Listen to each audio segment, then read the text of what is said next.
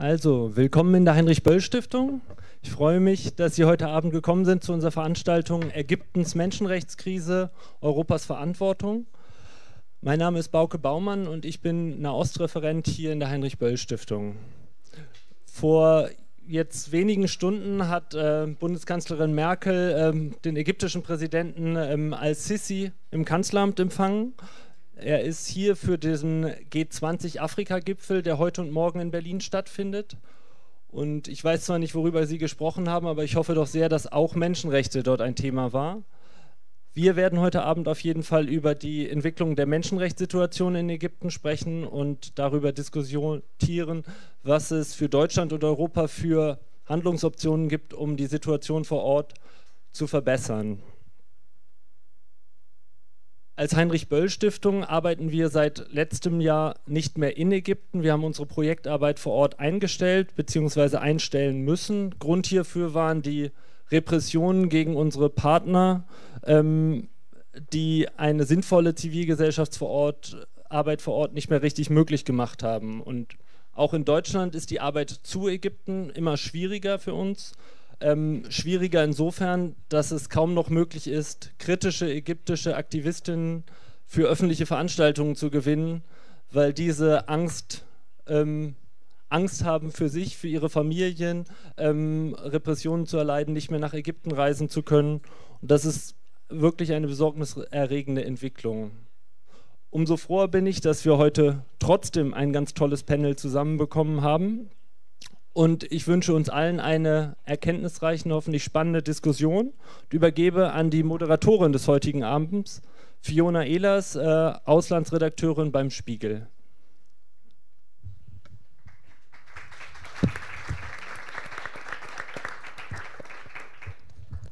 Ich bedanke mich ebenfalls und freue mich sehr ähm, und wollte gerne noch mal so ein paar Sätze zur Einstimmung äh, zur gemeinsamen machen.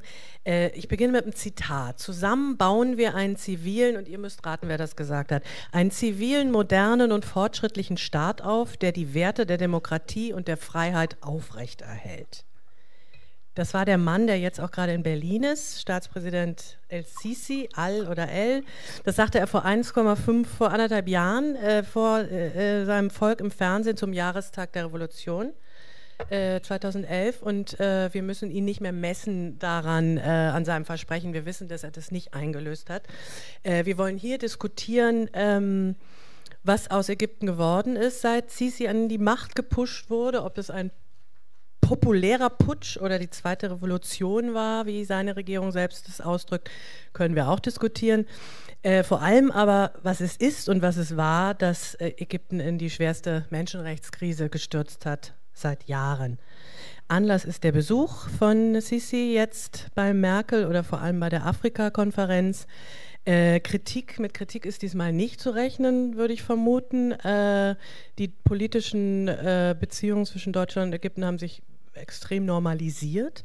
Gerade ist das umstrittene NGO-Gesetz unterzeichnet worden, das Institutionen in Zukunft es noch schwerer machen wird. Auch Böll wurde gerade gesagt, arbeitet lange nicht mehr in Ägypten, sondern nur noch zu Ägypten.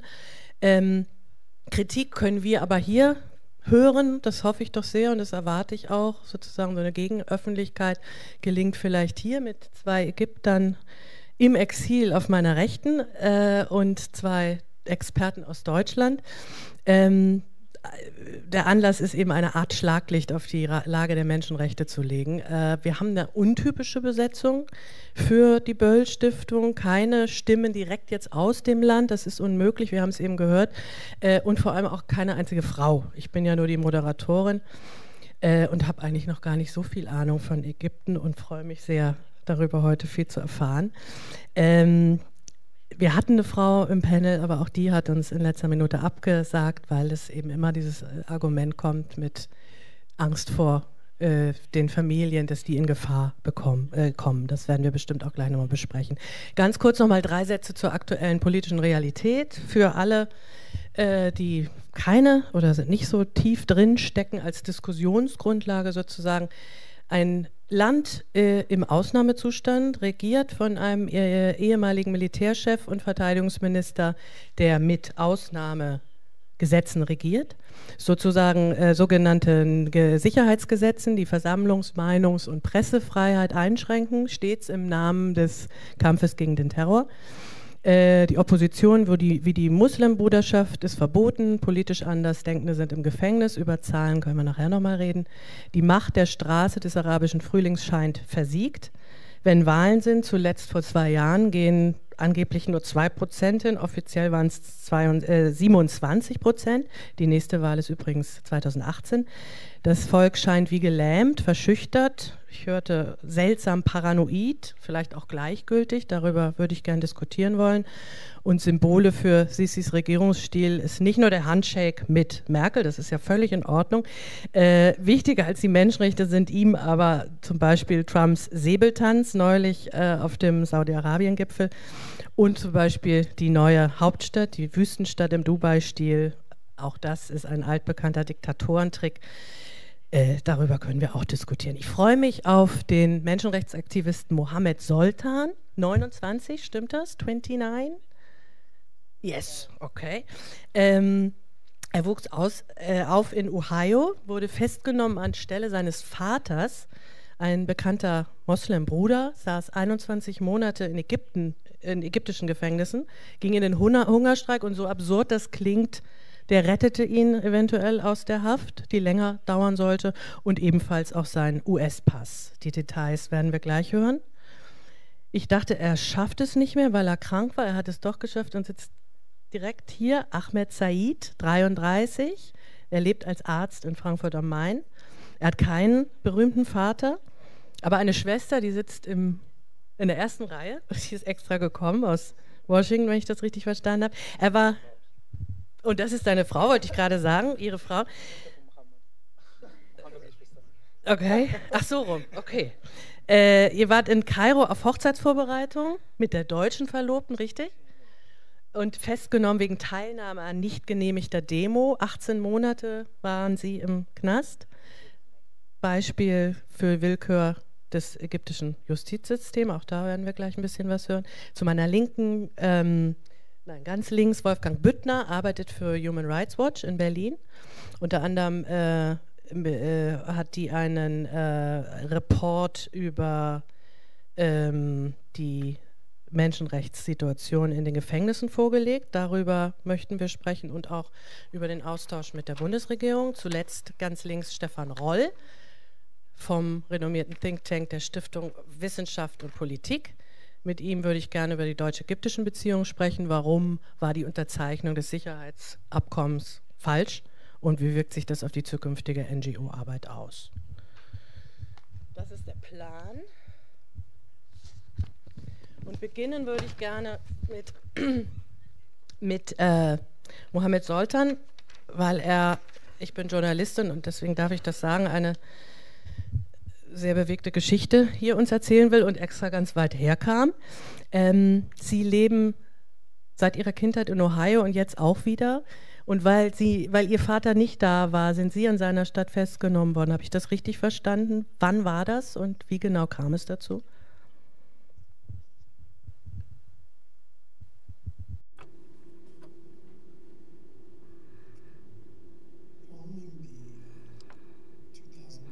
Nach der Auflösung der Protestbewegung äh, in 2013 gegen den Militärcoup gab es gewalttätige Auseinandersetzungen. Über 16.000 Menschen wurden äh, festgesetzt. Ich wusste äh, nicht, wohin ich in Kairo hin soll. Ich wollte in einen Vorort, äh, wo mein Vater herkommt. Die Sicherheitskräfte kamen dahin, suchten meinen Vater. Ich wurde festgenommen.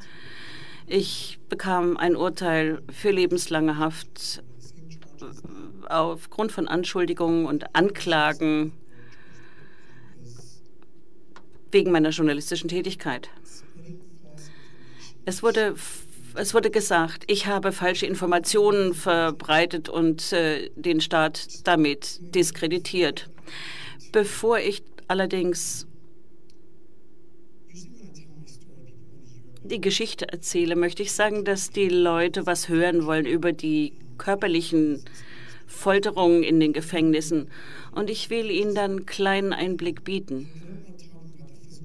Ich rede aber nicht so gerne über Folter, weil die körperliche Folter, die körperlichen Schmerzen, irgendwann vergisst man die. Es tut weh, aber irgendwann ist der Schmerz vorbei. Die psychologische Schmerzsituation verschwindet nicht. Der Schmerz bleibt. Gerade erst letzte Woche bin ich äh, in Washington auf der Couch meiner Schwester eingeschlafen ich hatte einen Albtraum. So wie meine Freunde, die ich im Gefängnis kennengelernt habe, habe ich geträumt, dass ich zum Tode verurteilt bin und ich hatte das Gefühl, ich werde erhängt. Dieser Albtraum ging so weit, dass ich schon den Strick um meinen Hals fühlte. Und zu dem Moment, als äh, das Seil zusammengezogen wurde, war offensichtlich meine Schwester dabei, mir den Schlips abzunehmen. Ich bin wach geworden und ich, habe meine Schwester weggestoßen, weil ich eben dieses Gefühl hatte, das ist das Seil um meinen Hals. Also diese Erinnerungen bleiben. Ich werde heute noch nachts wach und höre das, das Klappern von Schlüsseln im Gefängnis. Man hat immer Angst, jetzt kommt der Wächter rein in die Zelle und er wird dich durchsuchen, er wird dich schlagen und alle Gefangenen werden das bestätigen. Jeder, der einmal gesessen hat in den Kerkern von Ägypten, wird Ihnen sagen, dass man Angst hat einzuschlafen. Mir geht es so. Können Sie sich das vorstellen? Man hat Angst einzuschlafen. Im Gefängnis, es ist dunkel, es ist ein fürchterlicher Ort. Man schläft ein und man träumt, man lebt, man reist, man ist mit seinen Freunden zusammen und man wird dann wach am Morgen. Da gibt es so diese Zeit, wo man halb noch am Schlafen ist, halb schon wach ist. Und dann fragt man sich, ist das jetzt meine Realität? Und plötzlich wird es einem klar, dieser Traum ist nicht wahr. Ich bin an einem Ort, der hat keine Fenster. Vier mal fünf Meter und 21 Leute in der Zelle. Das ist meine Realität. Man hat so ganz, ganz wenig Platz für sich. Man muss wirklich sich auf die Seite legen, um überhaupt schlafen zu können.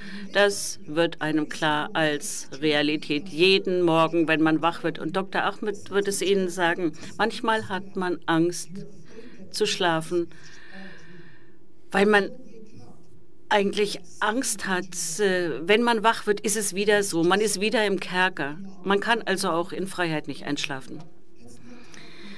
Das geht eben nicht nur um die Folter, um die Prügel, die man bekommt, die äh, Zigarettenstummel, die auf dem Rücken ausgedrückt werden. Ich kann die Narben heute noch an meinem äh, Rücken sehen. Ich musste aufgrund einer, einer Operation hatte ich Metallstifte im Arm, die mir rausgenommen werden muss, mussten. Der Tür durchgeschoben bekommen. Was ist das für ein Zeichen?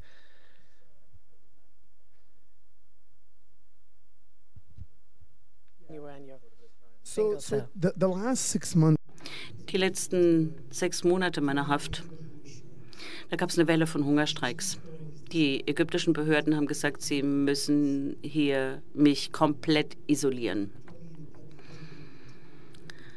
Sie haben mich in einen komplett separaten Raum gesteckt und sie haben mich systematisch psychologisch gefoltert. Und das sind genau die Dinge, die ich heute noch verspüre. Diese letzten, letzten sechs Monate, die haben versucht, mich zum Selbstmord zu bringen. Sie haben ständig mir gesagt, hör doch auf mit all dem, mach's doch leichter für dich selber und für uns. Und Sie können sich vorstellen, äh, Sie können an einem solchen Ort nichts hören. Das Ganze ist äh, hermetisch isoliert. Äh, man hat ebenfalls äh, eine Lichtbelastung, wo man ständig irgendwelche Lichter aufblitzen sieht, wo, wo man also wirklich so psychisch belastet ist, dass man ins Koma fallen kann. Und die Wächter haben mir manchmal Rasierklingen unter die Tür geschoben, haben gesagt, weißt du, du musst es vertikal schneiden, du musst dir deine Venen vertikal, nicht horizontal aufschneiden. Und sie haben mir dann einen Zellengenossen gegeben, jemand, der fast tot war. Und die haben gesagt, äh, ja, kümmere dich um ihn. Und sie ließen zu, dass der in meiner Zelle verstarb. Und dann haben sie mir die Schuld gegeben. Warum hast du zugelassen, dass er stirbt? Und du weißt eigentlich, dass die mit dir spielen. Du weißt ganz genau, das ist äh, Psychofolter. Das ist eine Taktik. Sie versuchen Druck auszuüben. Man weiß es, aber man sieht auch jemanden sterben. Neben sich. In diesen zweieinhalb Metern Quadratmetern, die man hat. Und man sieht, da stirbt jemand und du kannst nichts tun. Die Wächter wollen, dass er stirbt, sie lassen es zu. Ich mache es trotzdem kurz. Ähm, thank you. Ähm, äh, mindestens, oder Sie haben über Gefahren für Körper und Seele gesprochen, aber als ebenso gefährlich für die Gesellschaft haben Sie, äh, sagen Sie in der Retrospektive, dass die Radikalisierung in den Gefängnissen, dass, dass, dass egal wer, die Islamisten, die Liberalen, die Politischen, die Wächter und die Verhörer, dass die eins vereint hat und das war der Hass auf den Westen und auf Amerika. Äh, deswegen wollte ich kurz äh, fragen, was war das Absurdeste, was, was, Sie, was Sie sich da anhören mussten?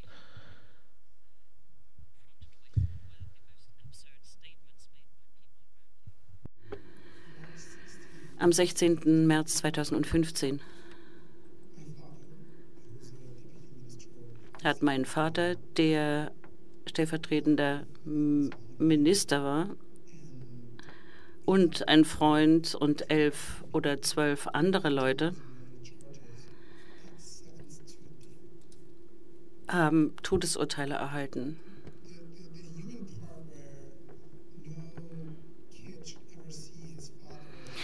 Da ist natürlich so diese menschliche Situation. Äh, kein Kind äh, sollte mit der Tatsache konfrontiert werden, dass der Vater unschuldig zum Tode verurt äh, verurteilt wird. Man sollte nicht erleben müssen, wie Freunde zum Tode verurteilt werden und man hört ihre Schreie im Gefängnis. Das war wirklich absurd. Und auf dem Transport auf dem ich war, vom, vom Gericht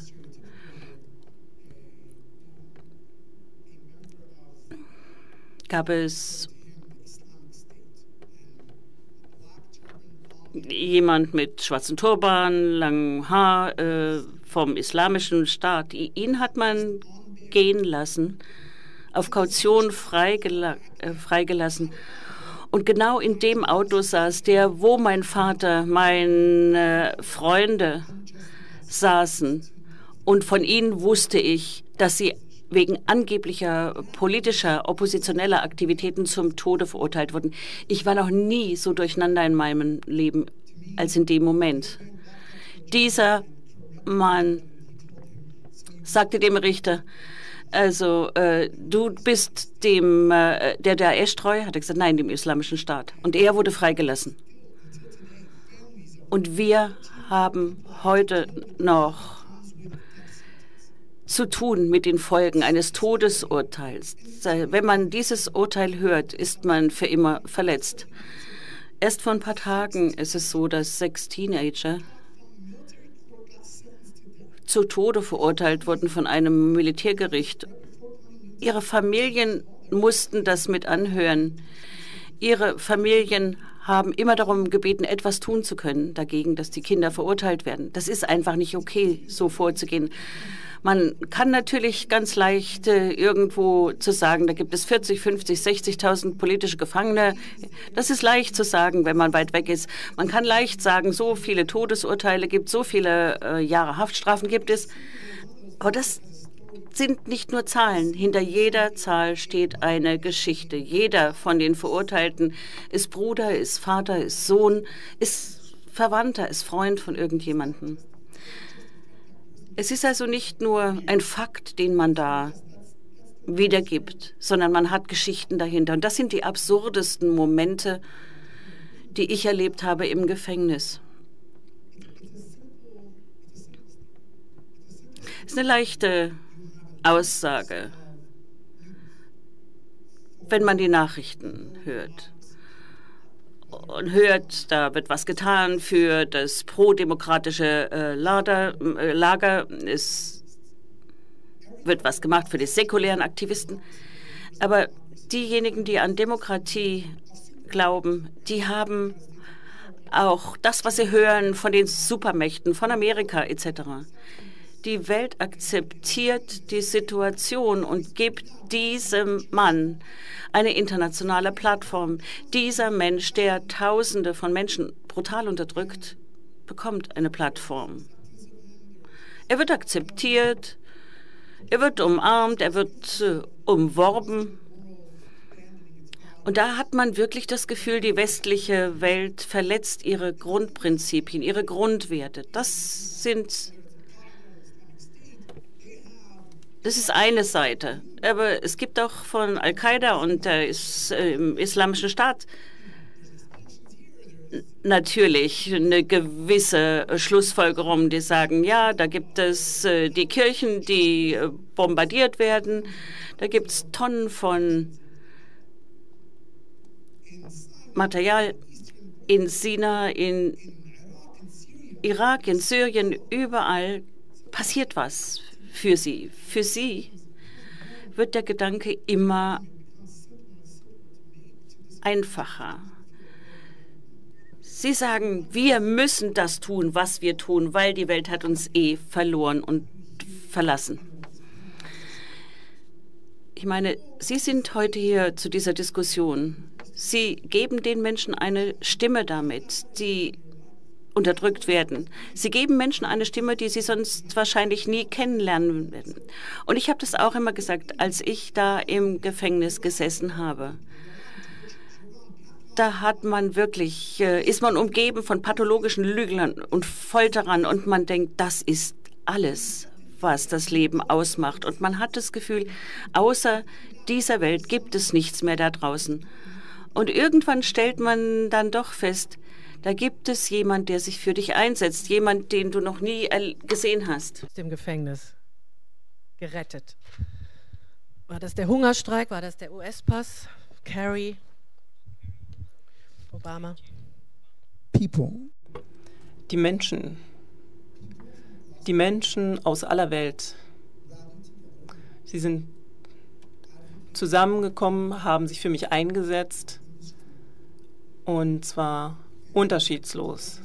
Sie haben eine Geschichte erzählt und sie haben Druck ausgeübt auf das stärkste Land der Welt, meine Entlassung zu erwirken. Darum geht es letztendlich. Also es geht um die Menschen. Die Menschen haben die Macht. Und wir haben ja darüber gesprochen, wie schwierig es ist in Ägypten äh, für die Aktivisten sich zu äußern. Aber die Menschen von außerhalb, wir nun hier in diesem Raum, haben die Macht. Ich bin der lebende Beweis dafür, dass jeder von Ihnen die Macht hat, etwas zu verändern im Leben einer anderen Person. Mein Leben wurde gerettet aufgrund anderer Menschen. Und wir freuen uns wirklich und sind dankbar, dass wir diesen lebenden Beweis offen hier bei uns sitzen. Ich würde ganz kurz von Ahmed Said fragen, was, äh, äh, ob, ob, Sie das, ob Sie da zustimmen. Waren das auch People? Waren das Berichte über Ihre Geschichte nicht in Ägypten, sondern zum Beispiel in Deutschland, die äh, Sie vor längerer Haft bewahrt haben? I, uh, I ich denke, wir hatten einfach Glück. Also ich und Mohammed, dass einige Menschen uns kannten, über uns gesprochen haben, aber es gibt viele Menschen im Gefängnis, die niemand kennt, über die niemand spricht, immer noch äh, 60.000, wie Mohammed gesagt hat. Und ähm, bevor ich ins Gefängnis kam, war es so, dass ich mich immer schuldig gefühlt habe. Also ich lebte hier in Deutschland in Sicherheit und viele Menschen mussten sich dieser, diesem Irrsinn stellen. Nachdem ich jetzt aus dem Gefängnis kam, fühle ich mich sogar noch schuldiger, noch schlechter, weil ich eben so viel Glück hatte. Dass ich, äh, weil ich eben die Kontakte hatte zu den Medien, zu den Politikern. Sie haben über mich gesprochen, meine Geschichte erzählt und ich war jetzt nur ein Jahr im Gefängnis, obwohl ich zwei Jahre im Gefängnis sein sollte. Und jetzt bin ich sehr verunsichert, was meine eigenen Gefühle angeht, weil ich bin natürlich sehr froh, dass ich Mohammed heute hier sehen kann und ich bin einerseits sehr glücklich, aber wenn ich diese Geschichten wieder höre und immer und immer wieder höre, bin ich mir einfach nicht sicher, was meine Gefühle angeht. Ich weiß eigentlich nicht, wie ich mich derzeit fühle oder fühlen soll. Also wenn ich zu meinem Fall, zu meiner Geschichte befragt werde, zu meinen Erfahrungen, dann sage ich immer, naja, es ist nicht der richtige Zeitpunkt für mich, darüber jetzt zu sprechen. Es ist nicht die richtige Zeit. Und das ist für mich auch sehr schwierig, weil ich jedes Mal über meine Geschichte spreche. Aber dann muss ich mich natürlich immer an die vielen Menschen und deren Geschichten erinnern äh, und darüber sprechen, die ich im Gefängnis kennengelernt habe. Mohammed hat ja über diese sechs jungen Menschen gesprochen, diese Teenager, die ein Todesurteil in Ägypten erhalten haben, vor circa zwei Wochen. Und ich habe sie selber gesehen im Gefängnis. Sie waren im gleichen Gefängnis wie ich, einem der schlimmsten Gefängnisse in Ägypten. Und äh, da gar, diese, diese Kinder, diese Jugendlichen wurden gekidnappt, haben zwei Monate beim Geheimdienst äh, verbringen müssen, also wurden dort äh, gefoltert, waren dort gefangen, 24 Stunden am Tag. Sie haben ihre Geschichten erzählt, also wie sie gefoltert wurden. Und jeder weiß natürlich, äh, wie dort gefoltert wird, aber das nochmal zu hören, ist nochmal anders. Und dann wurden sie in unser Gefängnis verbracht, in das Gefängnis, in dem ich saß. Und ich habe ihre Schreie Nacht für Nacht gehört, jede Nacht. Und das war eine andere Art der Folter. Immer wieder diese Schreie der Menschen zu hören, die gefoltert werden und nichts tun zu können. Nachdem ich aus dem Gefängnis entlassen wurde, wusste ich, dass diese jungen Menschen zum Tode verurteilt wurden. Und ich weiß aber, dass sie natürlich unschuldig sind. Sie haben nichts getan. Sie wurden gekidnappt und also es ist wie im Fall des äh,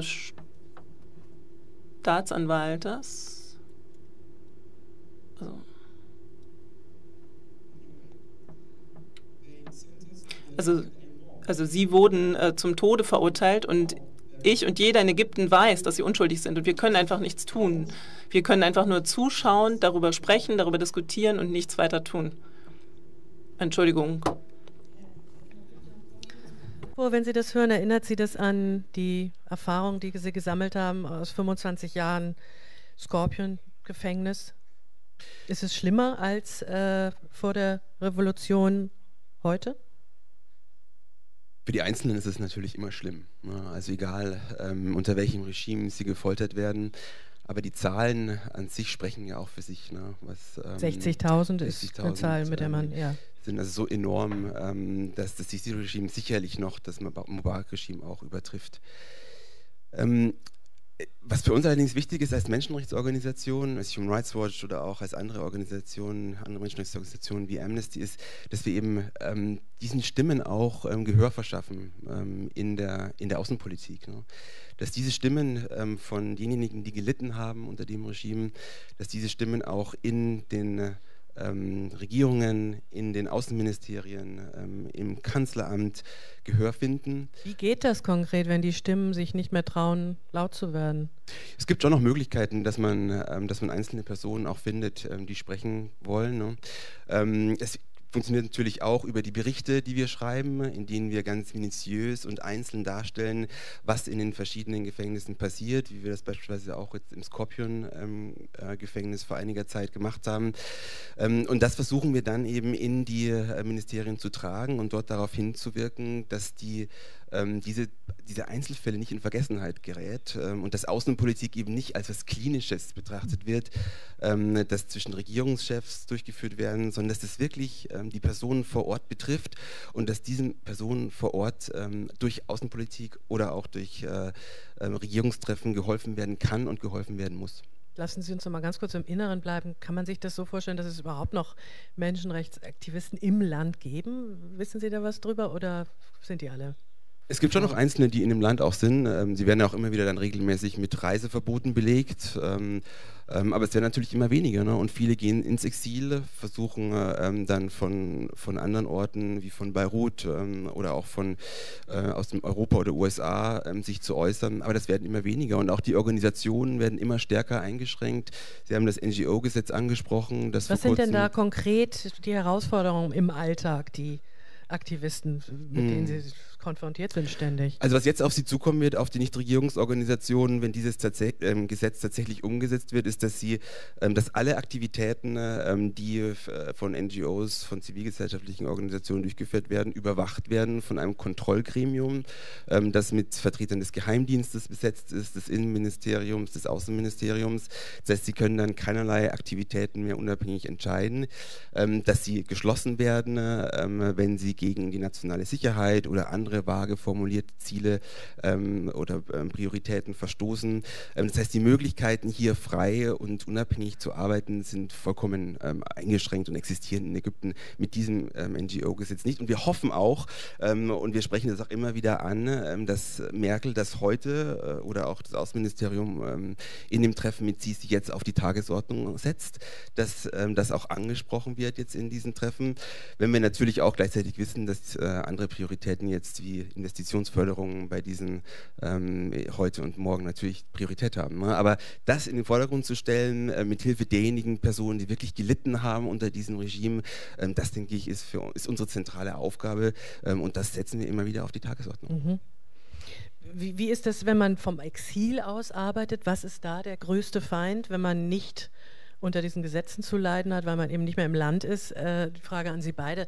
Äh, wer ist Ihr größter Feind? Das Desinteresse vielleicht an Ägypten? Die Welt ist gerade bewegt genug.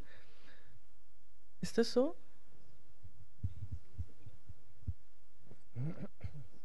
Actually, uh ich glaube, das erste Hauptproblem ist,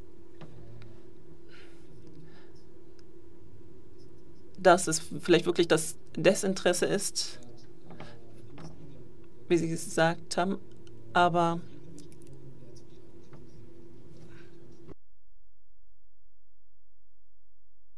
wir leben in einem demokratischen Land, aber diese Vereinbarung zwischen Deutschland und Ägypten über die Sicherheit, Sicherheitszusammenarbeit, we had like had uh und wir haben eine Kampagne gegen diese Vereinbarung durchgeführt. Wir haben mit verschiedenen Parteien äh, gesprochen und Partnern gesprochen. Äh, und die deutsche Regierung hatte ein sehr merkwürdiges Argument.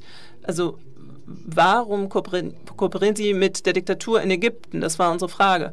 Ähm, ja, Fragen ja. die und sind aber auch nicht da, wollten nicht kommen. Deswegen. Ich meine, ich sage genau, weil äh, ja, nee, the, the, the, the argument was ähm, also das Argument aus meiner Sicht war sehr merkwürdig, weil wir gesagt haben, dass wir mit einem Diktator zu tun also die deutsche Regierung hat gesagt, sie haben es mit einem Diktator zu tun, aber sie wollen versuchen, es für die Ägypter besser zu machen, die Situation zu verbessern.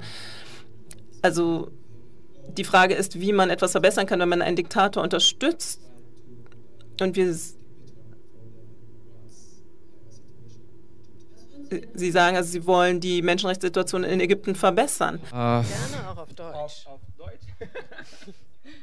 no, for English is better for me. If it's not okay, it's okay. No Lieber auf Englisch. Also ich weiß nicht. Ich warte einfach auf mehr Druck von der Opposition in Deutschland, von den Grünen, von der Linken, einfach mehr Druck muss ausgeübt werden. Also ich sehe ehrlich gesagt überhaupt keinen Druck. Also es ist einfach nicht ausreichend. Pressure gibt, Kampf gegen den Terrorismus, gegen den Terror, könnte man das so, dass damit argumentiert wird von der deutschen Seite, also der Regierungsseite? Ja. Also die äh, sozusagen äh, unsere Ägyptenpolitik determinieren, äh, viele Interessen, die da reinspielen. Es ist nicht ein Interesse, was da formuliert wird, also etwa, dass man nicht möchte, dass die Flüchtlingszahlen steigen, die aus oder über Ägypten kommen, sondern es gibt wirtschaftliche Interessen, es gibt eben das Interesse der Sicherheitskooperation, dass man sich erhofft, dadurch vielleicht mehr Intelligence zu bekommen über potenzielle Gefährder hier in Deutschland. Ähm, es gibt von einigen Politikern das Interesse, äh, dass ähm, die Christenrechte in Ägypten besser geschützt werden und äh, die Politiker hier äh, denken dann häufig oder gerne, dass das eben vor allem mit jemandem wie Sissi gut funktionieren kann. Ähm, wobei man fairerweise sagen muss, das hängt auch damit zusammen, dass eben die offiziellen Vertreter der Christen in Ägypten auch äh, genau dieses Argument hier in Deutschland immer wieder aufbringen. Ähm, also es gibt ganz viele Interessen, die äh, sozusagen diese Politik, wie wir sie momentan gegenüber Ägypten äh, fahren, erklären. Und ich denke dennoch, dass nach 2011 den politischen Entscheidungsträgern, ganz sicher aber in der Administration vielen, schon klar geworden ist, dass diese Politik nicht lange tragen wird und problematisch ist. Also man weiß im Grunde genommen schon irgendwie, dass man nicht das Richtige tut. Warum macht man es nicht besser? Woraus schließen ähm, Sie das, dass da eine naja, Unsicherheit besteht? So in Hintergrundgesprächen hört man häufig dann auch sehr, sehr viel äh, Kritik an dem eigenen Tun und sagt, also wir sehen ja schon, äh, die Situation wird immer schwieriger, immer schlimmer. Warum macht man es dann nicht besser? Also meine Erklärung dafür ist tatsächlich, dass ähm, die Alternativen äh, fehlen, beziehungsweise man denkt, dass sie fehlen. Ja? Gibt es eine und, Alternative zu Sisi in diesem Moment? Und wo wäre die? Also ich weiß nicht, welcher ägyptische Aktivist oder Politiker in den letzten Tagen das gesagt hatte, aber wahrscheinlich würde momentan jeder Ägypter gegen El-Sisi eine Wahl gewinnen können. Also ich denke, es würde natürlich bei freien Wahlen eine Alternative geben. Sisi ist tatsächlich ähm, nicht populär. Das muss man, denke ich, ganz klar sagen, weil er eben in der Zeit, in der er jetzt Präsident ist, nicht liefern konnte. Er war 2014 auch sicherlich nicht super populär, äh, aber da haben ihm äh, wahrscheinlich schon einige auch äh, sozusagen ähm, erstmal Vertrauen geschenkt und gesagt, okay, also wir geben ihm eine Chance. Mittlerweile, denke ich, ist das aber vorbei. Und äh, das wird übrigens auch das zentrale Problem bei den Wahlen in einem Jahr sein. Ähm, selbst wenn diese Wahlen gefälscht werden, wird aus heutiger Perspektive sicher ganz, ganz deutlich werden, dass keiner zu den Wahlen geht. Also das wird die zentrale Herausforderung für äh, die ägyptische Administration, da irgendwie zumindest den Anschein einer funktionierenden Wahl irgendwie erwecken zu können. Das äh, sehe ich momentan nicht, dass sie das schaffen werden. Aber nochmal zurück zu dem Punkt, warum machen wir keine bessere Politik? Also wie gesagt, ich denke, es hängt sehr viel damit zusammen, dass hier Politiker denken, äh, es gibt keine Alternative und dass häufig auch Ägypten immer in Relation zu den Nachbarländern gesehen wird und argumentiert wird, ja, das ist alles nicht toll in Ägypten und es ist alles ganz schlimm, aber guck, wie es in Libyen ist, guck, wie es in Syrien ist ähm, und äh, das, das müssen wir auf jeden Fall vermeiden und dann ist uns... Guck, was in Sinai ist. Ja, Sinai, Sinai ist so ein bisschen was, was äh, häufig von vielen hier als äh, sozusagen nicht Teil Ägyptens gesehen wird. Also das ist so ein bisschen als, als isoliertes Problem. Ich, ich versuche, ich rechtfertige es gar nicht. Ich versuche nur sozusagen zu erklären, äh, wie äh, politische Entscheidungsträger hier drüber denken. I just want. Bitte. Just want to add, uh ich würde nur gerne etwas anmerken. Zwei Dinge, nämlich in Bezug auf die Flüchtlinge und äh, den Terrorismus. Und wenn wir uns die Zahlen anschauen der Flüchtlinge, der Migranten, die über Ägypten kommen, sind sie inzwischen fünfmal so hoch und in den vergangenen zwei Jahren eben um das Fünffache gestiegen. Und wenn man sich den Terrorismus anschaut in Ägypten, dann muss man sich natürlich den Terrorismus vor und nach Assisi anschauen oder mit Assisi. Und Assisi hat gesagt, dass es eine Lösung für die Gewalt gibt auf der Sinai-Halbinsel. Aber es gibt einfach mehr Terrorismus, mehr Feindlichkeiten äh, zwischen dem Staat und den Islamisten. Und wenn wir uns diese zwei Punkte anschauen, ist es wirklich so, dass die Situation sich unter Assisi äh, verschlechtert hat. Da möchte ich noch etwas hinzufügen. Es gibt einige Dinge, die wir uns anschauen müssen. Zunächst einmal, die Unterdrückung in Ägypten ist einmalig. In den vergangenen Wochen wurden 45 ähm, Medienorganisationen geschlossen. Es gibt quasi nur noch eine ein Narrativ in Ägypten und das ist die der Regierung. Alles, was dieser Erzählung, diesen Nachrichten widerspricht, wird quasi verhaftet. Also als ich verhaftet wurde, da haben die Menschen gefragt, warum werden so viele Leute verhaftet? Heute ist es so mit diesen schwindenden Kräften und den äh, Tötungen, den Ermordungen und auch der Mann meiner Tante wurde neunmal auf ihn wurde neunmal geschossen, nachdem er gefoltert wurde und einen Finger abgeschnitten worden war. Da wird jetzt gesagt, wenn sie jemanden verhaften, dann wollen, sie, wollen wir einfach nur noch wissen, wo die Verhafteten sind. Also die Situation in Ägypten ist wie ein Dampfkochtopf ohne Öffnung. Also es ist keine Frage mehr ob, sondern wann. Das ist das Erste. Und nochmal zur Radikalisierung. Also wenn man sich äh, historisch die 50er und 60er Jahre anschaut und die gleichen Gefängnisse, das sind wirklich die gleichen wo die äh, islamische Dschihad-Bewegung entstanden ist. Das sind die gleichen, ganz genau die gleichen Gefängnisse.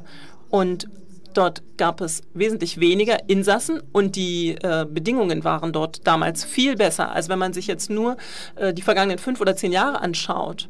Und wir sprechen ja über die Sicherheit und wirtschaftliche und politische Interessen großer Nationen.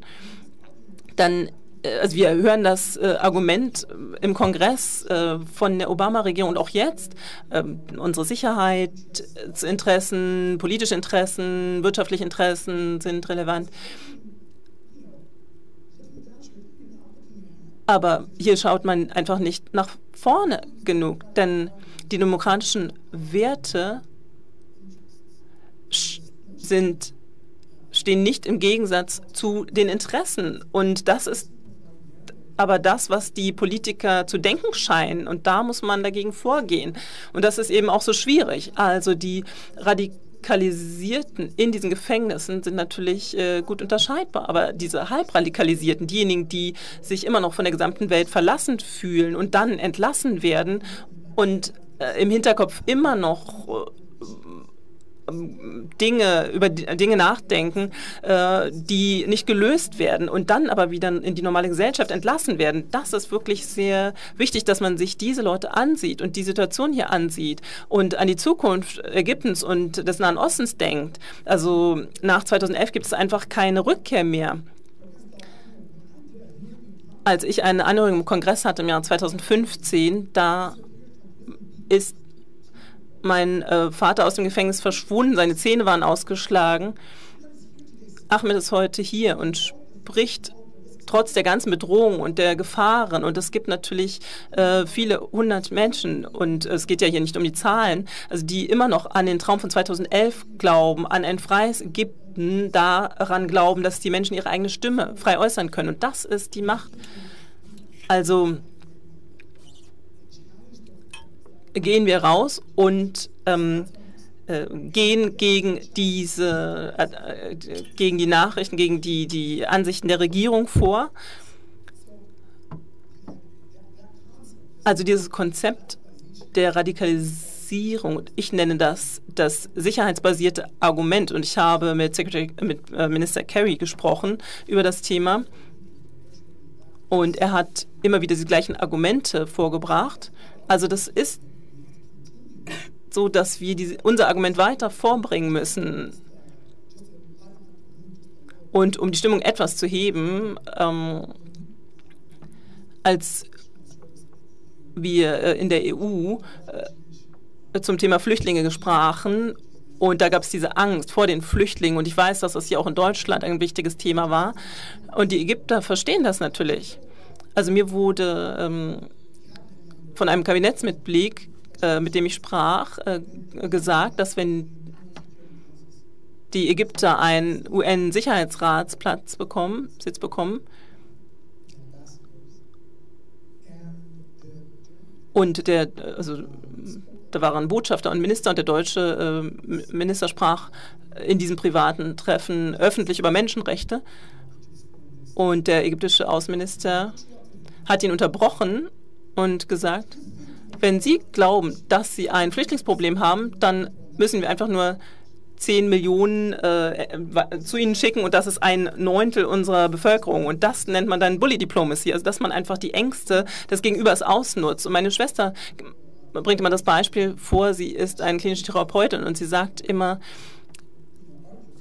dass dieses Argument, also es ist so wie ein äh, Teenager sozusagen, also er kann nicht ohne den Westen leben. Also da erhält er seine Legitimität, die Gelder, die Finanzen, aber trotzdem beschwert er sich die ganze Zeit, ich will das nicht machen, ich will dies nicht, ich will jenes nicht, aber letztendlich kann man ihm nicht alles geben. Es ist wie bei einem Teenager, es muss eine gewisse Disziplin geben. Und das ist etwas, was wir wirklich auch den Politikern nahebringen müssen. Und das so können wir den Prozess der Radikalisierung auch der Menschen im Gefängnis verlangsamen, wenn sie wissen, dass es da draußen immer noch Menschen gibt, die sich für sie einsetzen, dass sie nicht vergessen werden. Das ist wirklich ein wichtiger Punkt.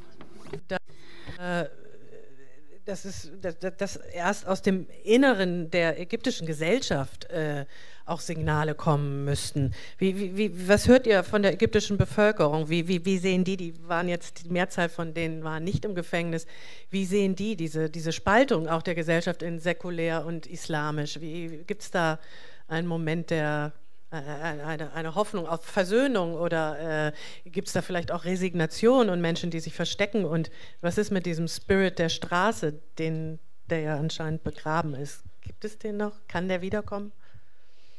Im Land, nicht hier. Das ist eine sehr schwere Frage. Um, okay, what I can say about Oh, I mean like the people in the street now.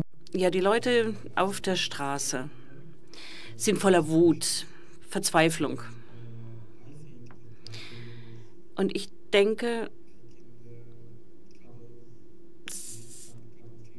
sie werden sich wieder bewegen, vielleicht in ein paar Jahren. Also bevor ich nach Deutschland kam und in Ägypten gewesen bin, hatte ich das Gefühl, dass die Leute wirklich aufgrund der wirtschaftlichen Lage enttäuscht sind, wütend sind. Ich bin in Ägypten gewesen vor 2014 und da haben die Leute eher gesagt, ja, wir haben ja keine andere Wahl, wir haben nur Al-Sisi. Er ist zumindest besser als die Muslimbruderschaft und wir hoffen, dass er die Dinge verbessern wird. Heute sagen sie, der hat es nicht geschafft, der macht nichts. Er ist keine Hoffnung, kein Hoffnungsträger mehr für uns. Ja. Nach anderthalb Jahren. Ja, but I, I won't. Ja, aber ich würde hier noch was ergänzen äh, wollen zum Thema Radikalisierung der Menschen. Wie die Polizei mit den Menschen im Gefängnis umgeht, das ist die eine Sache, aber wie sie mit uns, mit säkulären Aktivisten und Islamisten vom IS umgehen, wo ist der Unterschied? Naja, sie geben ihnen alles, was sie brauchen. Sie geben ihnen alle Rechte. Sie bringen sie an besseren Orten um, diese Gefangenen aus äh, dem IS. Wahrscheinlich haben sie eher Angst, die Sicherheitskräfte, vor den Radikalen. Äh, ich habe junge Leute gesehen, die nie politisch gewesen sind, die nie Islamisten gewesen sind und im Gefängnis radikalisieren sie sich. Das Problem ist nämlich, dass die Gefängnisverwaltung das genau weiß. Äh, sie wissen, da sitzt ein Ist-Mann in der Zelle und da gehen die anderen Gefangenen hin, um ihm zuzuhören und von ihm unterrichtet zu werden. Sie wissen das und trotzdem lassen sie ihnen die volle Freiheit. Warum? Ich verstehe es auch nicht. Ich habe keine Erklärung dafür. Ich habe drüber nachgedacht und ich dachte, okay, vielleicht haben die einfach Angst vor den Leuten, dass äh, diese IS-Leute denjenigen, die noch in der Freiheit sind, da Signale geben und äh, da was gegen sie unternommen wird.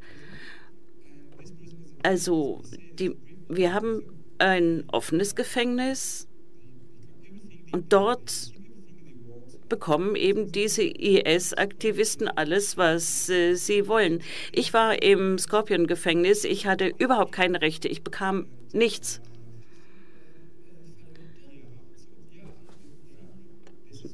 Konnte meine Verlobte nicht sehen, meine Familie nicht sehen. Wie gesagt, für mich war es ganz schwer, überhaupt zu verstehen, was, was, was los ist, so wie Mohammed es gesagt hat. Was passiert da mit der Radikalisierung? Warum äh, und, äh, lässt man das zu? Warum ist die vielleicht sehr naiv? Warum ist die Muslimbruderschaft so verhasst? Äh, Sie waren ja die einzige Organisation, die eine Alternative zum Militärstaat geboten hat. Äh, äh, wie kann man das erklären?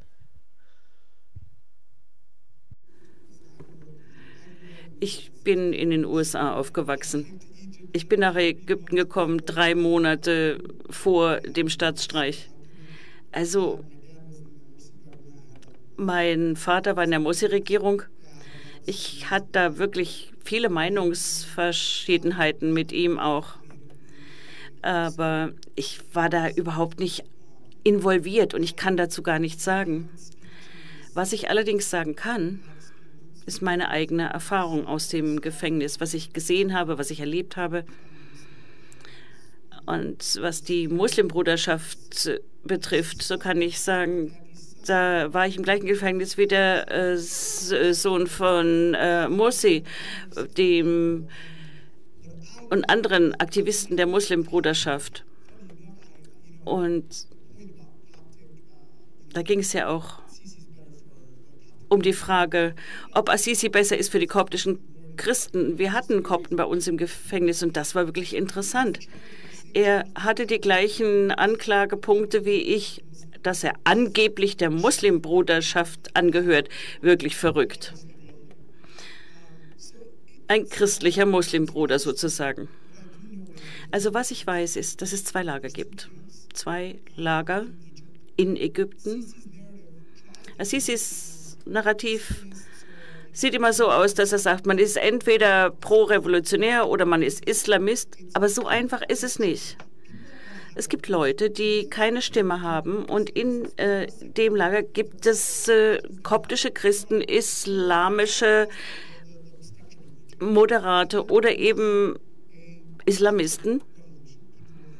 Das sind alles Leute, so ein gemischtes Lager, das für die Revolution ist und genau das Anti-Lager, das genauso gemischt ist. Wer, wer kann. well,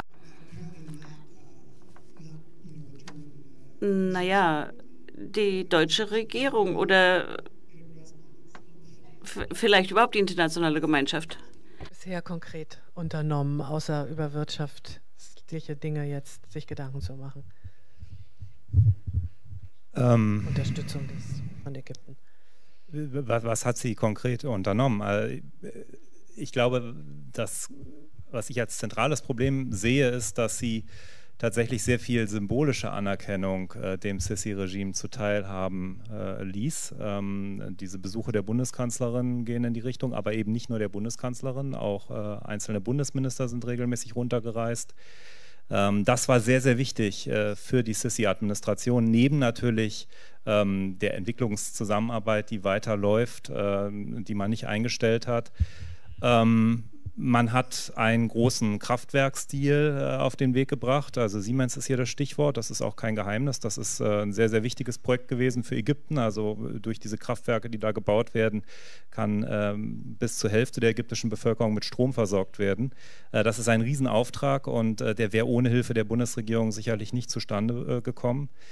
Und äh, wo die Bundesregierung sich durchaus auch für eingesetzt hat, äh, war, und das denke ich war tatsächlich ein ganz wichtiger Moment, äh, der leider verpasst wurde, dass Ägypten eben dieses große IWF-Hilfspaket äh, bekommen hat ähm, äh, im letzten äh, Jahr. Ähm, da ging es um über 12 Milliarden US-Dollar. Das hat Ägypten sozusagen vor dem Zahlungsausfall, vor dem, vor dem Bankrott gerettet. Und äh, das war tatsächlich ein sehr interessanter Moment, weil hier die Bundesregierung äh, durchaus auch ein zentraler Akteur gewesen ist. Das muss man ganz klar sagen. Wir sind da mit 300 äh, US-Dollar direkt an diesem Hilfspaket beteiligt. Das klingt jetzt erstmal nicht so viel, aber wir sind natürlich eine sehr wichtige Stimme in ähm, den internationalen Geberinstitutionen, die äh, letztlich das Geld, den, die Haupt, den Hauptteil dieses Kredites äh, stellen. Ähm, und ich denke, da hat man tatsächlich eine Chance verpasst um eben zum Beispiel für mehr Menschenrechte, für mehr politische Teilhabe in Ägypten äh, einzutreten und hier Druck auf die Regierung auszuüben. Das muss man ganz klar sagen. Ist das nachzuholen? Kann man das wieder gut machen? Ähm, ja, also ich, ich bin fest davon überzeugt, dass das nachzuholen ist, äh, weil ähm, auch dieses 12 Milliarden US-Dollar Kreditpaket Ägypten nicht äh, dauerhaft retten wird und kann. Das heißt, wir werden immer wieder und wahrscheinlich schon sehr bald in Situationen kommen, äh, wo Ägypten eben auf uns, Deutschland, äh, auf die Europäische Union, aber eben auch auf die internationalen Finanzinstitutionen, wo Deutschland eben eine sehr wichtige Stimme hat, ähm, zukommen wird. Und äh, ich denke deswegen, ähm, wir haben eine Chance verpasst, aber es gibt äh, zig andere Chancen äh, in Zukunft, wo wir deutlich äh, auch ähm, eben Hilfe konditionieren können. Ähm, mit Forderungen eben, dass äh, die Menschenrechtssituation verbessert werden muss, dass äh, politische Teilhabe ähm, eingeräumt werden muss. Ja, also das ist tatsächlich was, was ich. In dem Sicherheitsabkommen gibt es jetzt vom April, gibt es, glaube ich, auch so eine kleine vage äh, Satz, dass auf die Menschenrechte Acht genommen werden muss oder sowas, aber ja mehr eine, eine vage. Ja, ich meine auch das, auch das Sicherheitsabkommen. Also bei aller Kritik, die ich auch selber ausgeübt äh, mhm. habe an der Bundesregierung, dass sie eben dieses Sicherheitsabkommen unterschrieben hat. Ich halte das absolut für falsch. Aber man muss sehen, das ist halt erstmal nur eine Schale, eine leere Schale, in der Kooperation stattfindet. Deswegen ähm, macht es halt schon Sinn, jetzt genau darauf zu gucken, was für konkrete Maßnahmen hier ähm, die Bundesregierung vorhat und äh, gegebenenfalls auch diese Maßnahmen ähm, zu kritisieren, einzufordern, dass äh, sie immer unter dem Vorbehalt deutschen und auch internationalen Recht stehen müssen. So steht das ja auch in dem Abkommen. Äh, darauf kann man sich also jetzt auch berufen äh, und dass äh, dann entsprechend Kooperation mit so einem System gar nicht möglich sein kann, nach meinem Verständnis. Mhm. Ja. Herr Büttner, sehen Sie eine Möglichkeit, äh, die ägyptische Wirtschaft zu unterstützen und gleichzeitig eine konstruktive Menschenrechtspolitik zu machen? Klar. Wie auf jeden Fall. Aus? ich meine, das ist unsere Aufgabe. Ich denke, und ähm, da möchte ich auch anschließen, äh, was die Bundesregierung eben nicht macht, ist, dass sie ihre Politik gegenüber Ägypten an Menschenrechtskriterien bindet. Ne? Also das ähm, ist unsere Forderung, ähm, dass das sowohl auf bilateraler Ebene passiert, also auf höchster Ebene, wenn Treffen zwischen Sisi und Merkel stattfinden, dass das auch passiert, dass man die Menschenrechte aufgreift und entsprechende ähm, Klauseln einfügt im Rahmen der Europäischen Union, also in internationalen Foren, ähm, im Rahmen des internationalen ähm, Währungsfonds, ähm, dass das Thema auch immer wieder im Menschenrechtsrat äh, auf die Tagesordnung gesetzt wird und man sich nicht ähm, zurückschreckt, wenn große Kritik von Ägypten kommt. Ähm, dass das auch ganz klar dann im praktischen, in der praktischen Umsetzung ähm, ähm, die Menschenrechte eine Rolle spielen und da auch an Kriterien gebunden wird. Ich meine, wir haben da auch gute, einerseits gute ähm, Erfahrungen gemacht, was wir von unseren Partnern noch ähm, in Ägypten von der deutschen Botschaft beispielsweise hören. Ähm, die ist also an Prozessbeobachtungen beteiligt. Hat, es hat auch Priorität in der deutschen Botschaft in Kairo. sie versucht auch immer noch, zu, äh, soweit es möglich ist und soweit die Gruppen noch existieren, zu Menschenrechtlern Kontakte aufrechtzuerhalten, ähm, auch einen Raum, Raum Rahmen ähm, zu schaffen, in dem sie sich austauschen können. Also ähm, das, das finden wir gut und das unterstützen wir auch. Aber in anderen Bereichen funktioniert eben gar nicht. Und das ist ähm, ein Beispiel sind diese hochrangigen Treffen, ähm, die wir äh, vor allen Dingen, was wir vor allem bei Merkel und Sisi gesehen haben. Das galt sowohl für das Treffen 2015, als Sisi nach Berlin kam ähm, und dort die Bundesregierung es einfach nicht geschafft hat, diesen Besuch zu nutzen, um äh, konkrete Menschenrechtsverbesserungen Verbesserungen zu erreichen. Ne? Also klare Kriterien für den Besuch aufgestellt hat.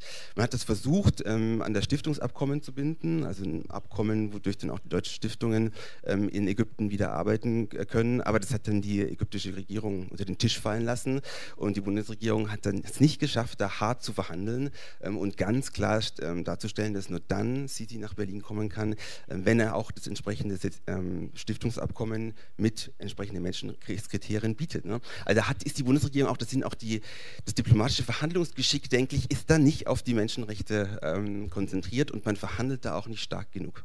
Nun ist er ja zum zweiten Mal in Berlin. Äh, ist da aufgegeben worden oder wird das, ist das immer noch auf der Tagesordnung? Es war jetzt kein Staatsbesuch heute, aber wird da weiter verhandelt oder ist das jetzt erstmal in Klammern gesetzt? Na gut, das Stiftungsabkommen ist ja jetzt, ist jetzt erstmal, abge also ist erstmal ähm, abgeschlossen.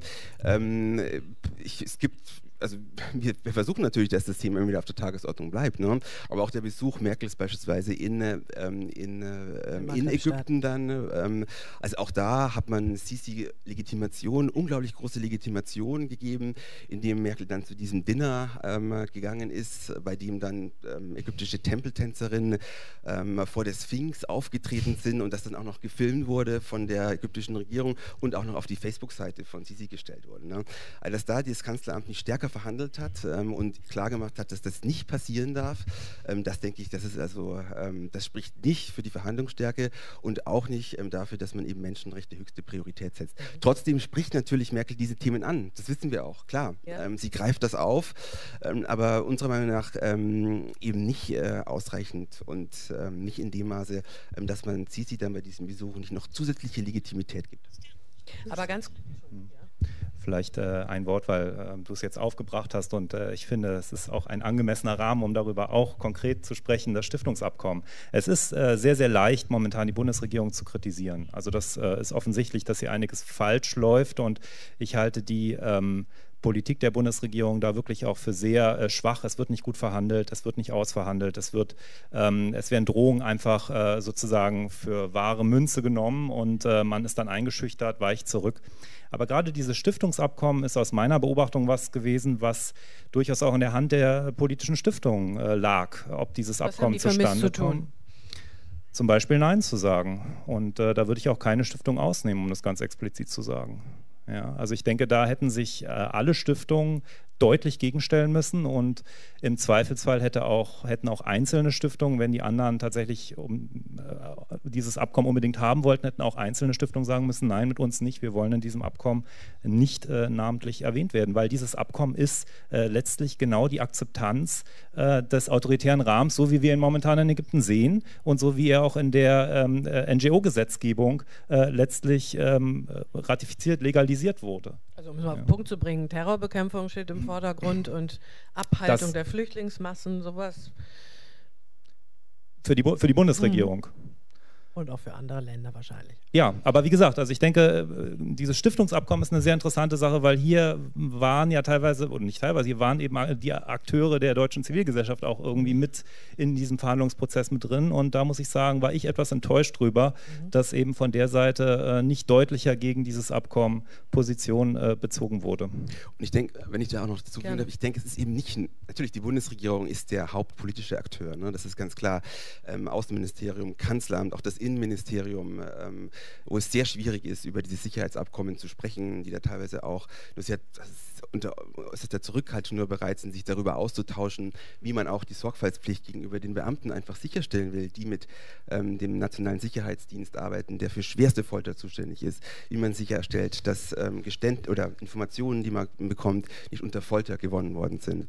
Das sind alles Themen, die das Innenministerium lesen, lösen muss. Ne? Und da bieten wir uns auch als Gesprächspartner an, jetzt, dass das Sicherheitsabkommen abgeschlossen ist, dass wir abgelehnt haben, aber jetzt, dass man sieht, praktisch ähm, noch versucht, Einfluss zu nehmen Themen. Ähm, ich denke, da, da sind wir auch offen für das, da suchen wir auch das Gespräch zum Innenministerium ähm, und bieten da uns auch als Gesprächspartner an.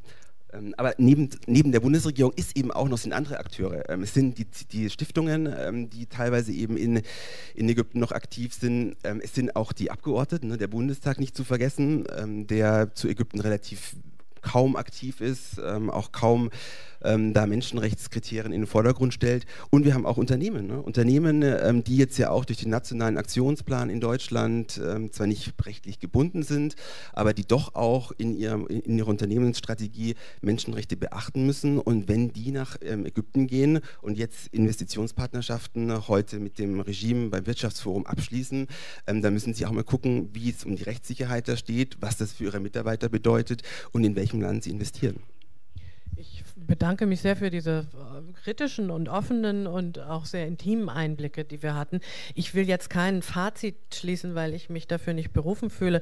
Ich würde gerne beenden das Panel und dann das äh, in die äh, öffnen und äh, um Fragen bitten mit äh, einer Frage von jedem euch Vieren nach einem Ausblick. Wir haben über Parlamentswahlen geredet 2018. Äh, wie, wie, wir gucken jetzt mal ein bisschen in die Glaskugel. Wie, wie, wie, wie, worüber werden wir reden, wenn wir in zwei Jahren uns hier wieder treffen würden?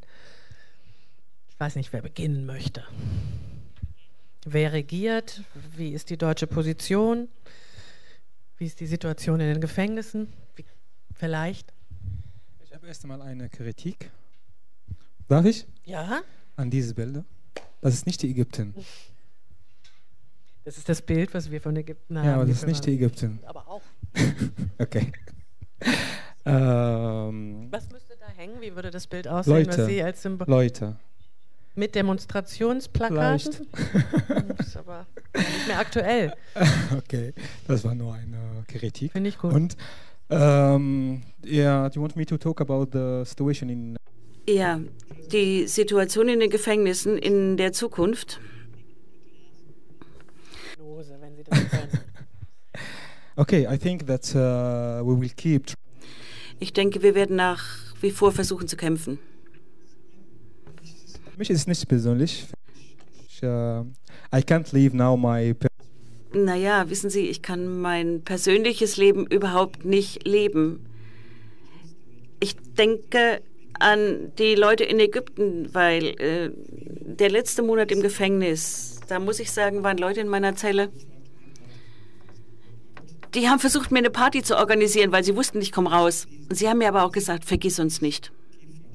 Kämpf weiter für uns. Und das haben sie mir gesagt, das werde ich nie vergessen. Also für mich gibt es jetzt kein persönliches Leben. Ich weiß, das wird meine Frau jetzt hier wütend machen, aber es ist sehr schwer, sich zu konzentrieren auf sowas wie ein persönliches Leben, wenn 60.000 meiner Landsleute im Gefängnis sitzen. Und Hunderte von Menschen gefoltert werden, äh, medizinisch vernachlässigt werden, wenn Leute verschwinden. Es ist wirklich ein Albtraum, der sich da abspielt. Und ich bin gezwungen, damit umzugehen und das zu meinem Leben zu machen. Für mich scheint die Zukunft düster. Ich bin ganz ehrlich und sage das so. Aber es gibt auch Hoffnung. Vor zwei Jahren oder vor vier Jahren, wenn ich hier gesessen hätte, dann hätte ich vielleicht gesagt, es wird so ein furchtbares politisches Umfeld geben, dass der Sohn eines äh, Führers der Muslimbruderschaft einfach ins Gefängnis gesteckt wird und befreit wird, nur deshalb, weil der, der amerikanische Präsident sich persönlich für ihn einsetzt. Und der US-Kongress gibt trotzdem 1,3 Milliarden äh, Militärhilfe, aber nur, wenn dieser Mann hier freigesetzt wird. Wenn ich das gesagt hätte hier auf diesem Podium vor vier Jahren, da hätte mir es keiner geglaubt. Heute sitze ich hier und ich habe genau das erlebt. Meine Hoffnung bekomme ich von Ihnen, von Menschen, die sich interessieren für diese Themen, die weiterarbeiten, die Widerstand bieten. Und das gibt mir Hoffnung. Und wie gesagt, im Gefängnis in dieser dunklen Zelle ist schon ein kleines Licht, ein Funken, der den ganzen Raum erhält,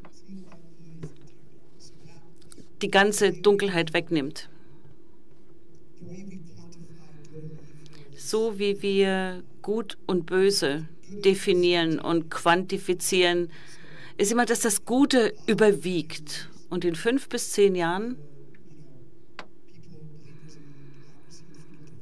dann haben vielleicht die Menschen, die an Freiheit und Frieden glauben, den Sieg davon getragen.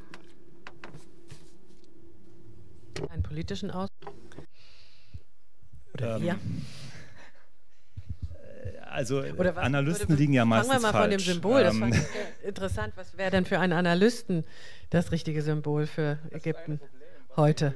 Also auf jeden Fall auch Menschen, das, äh, da äh, stimme ich äh, absolut zu und äh, leider momentan eben wahrscheinlich Menschen mit äh, gefesselten Händen und einem Pflaster hm. über Mund, genau. Ähm, ich glaube, es ist wichtig zu verstehen, dass dieses System, was wir momentan sehen, dass das einfach nicht aus sich selbst heraus bestehen kann. Ägypten ist pleite, ja, wird sozusagen von außen finanziert.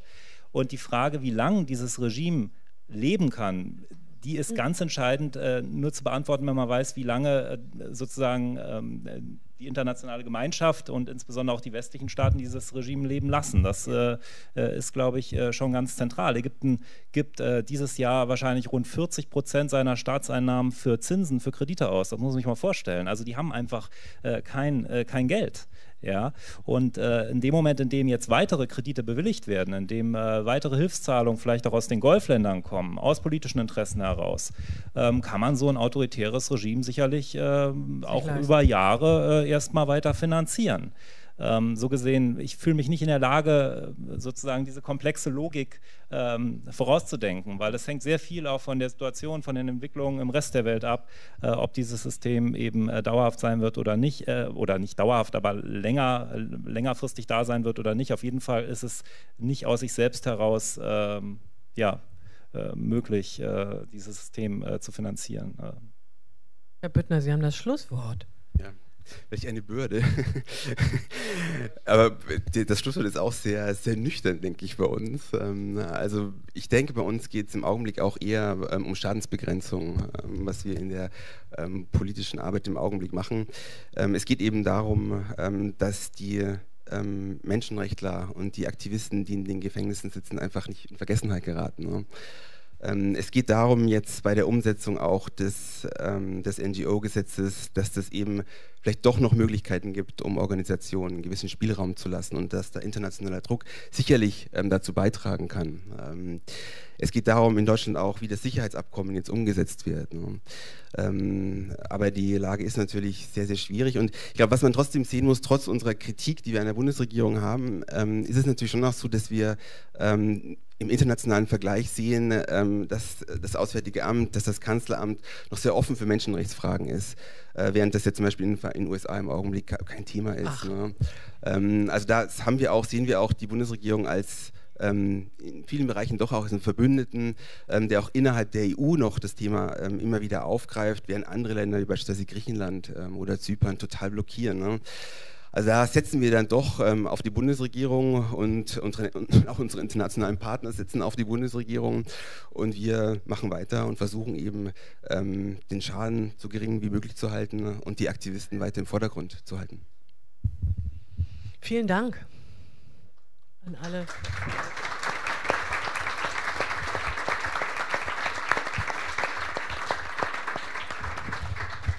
An alle vier und äh, was man im Fernsehen selten hört und in Ägypten wahrscheinlich im Moment sehr selten, gibt es Fragen. Stellen Sie sie. Auf allen Sprachen. Äh, dann junger Herr da vorne. Wenn, du, wenn Sie möchten, gerne. Kurz. Ah, wait a second, there will be. Ganz kurz, bis das Mikrofon bei Ihnen ist. Einen Moment.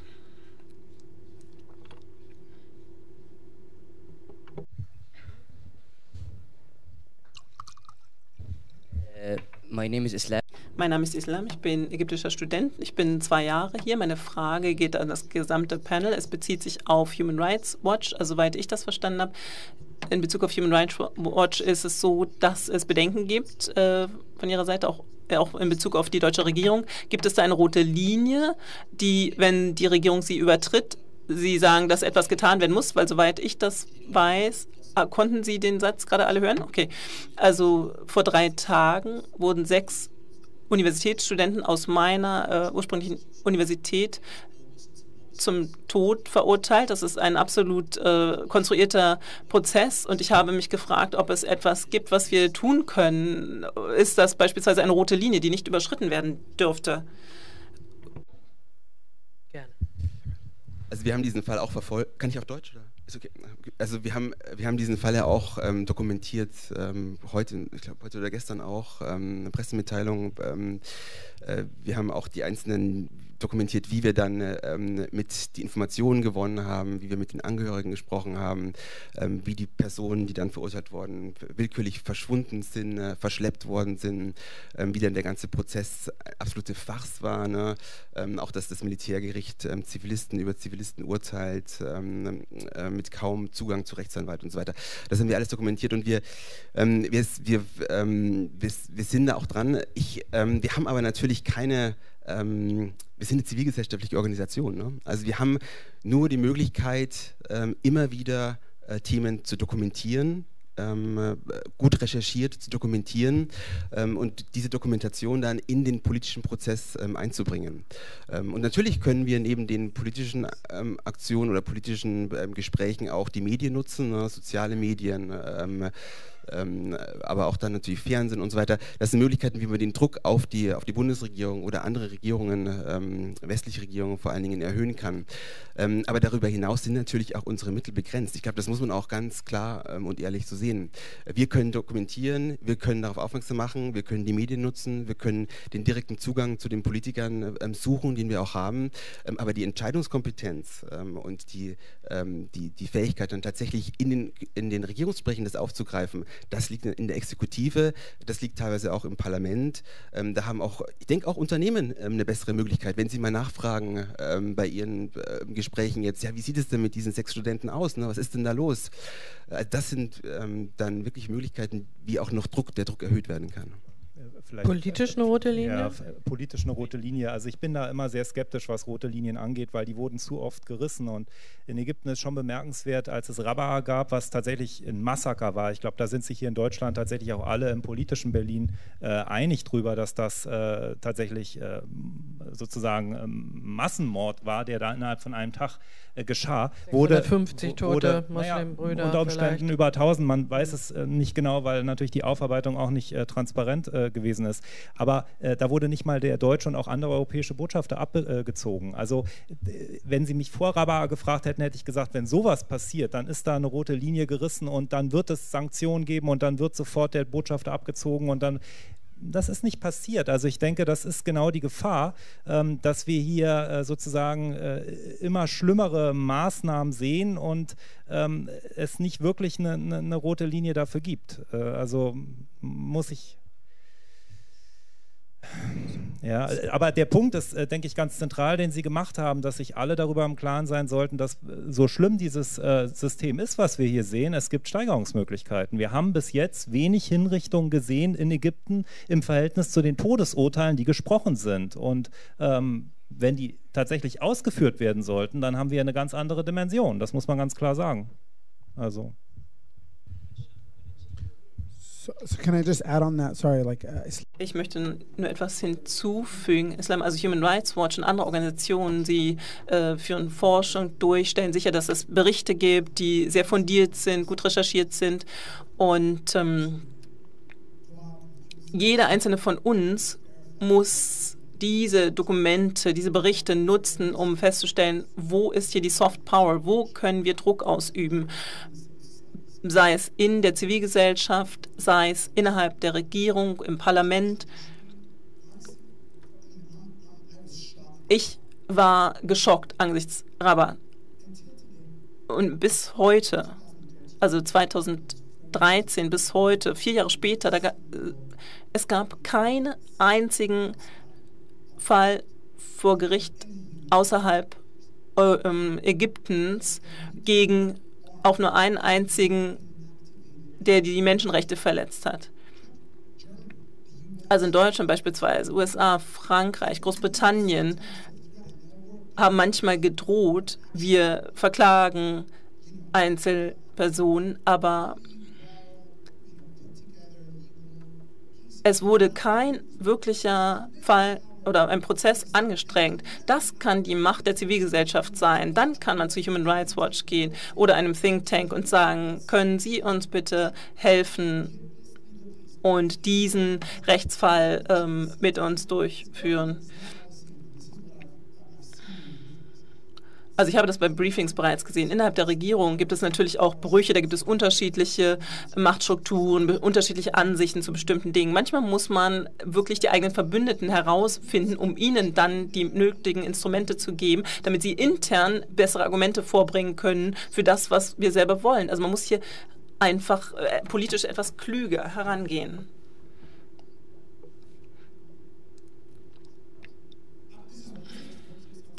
Ich möchte noch etwas sagen. Also ich denke, die rote Linie, Sie haben ja nach der roten Linie für, für Deutschland gefragt, nicht für Human Rights Watch, oder?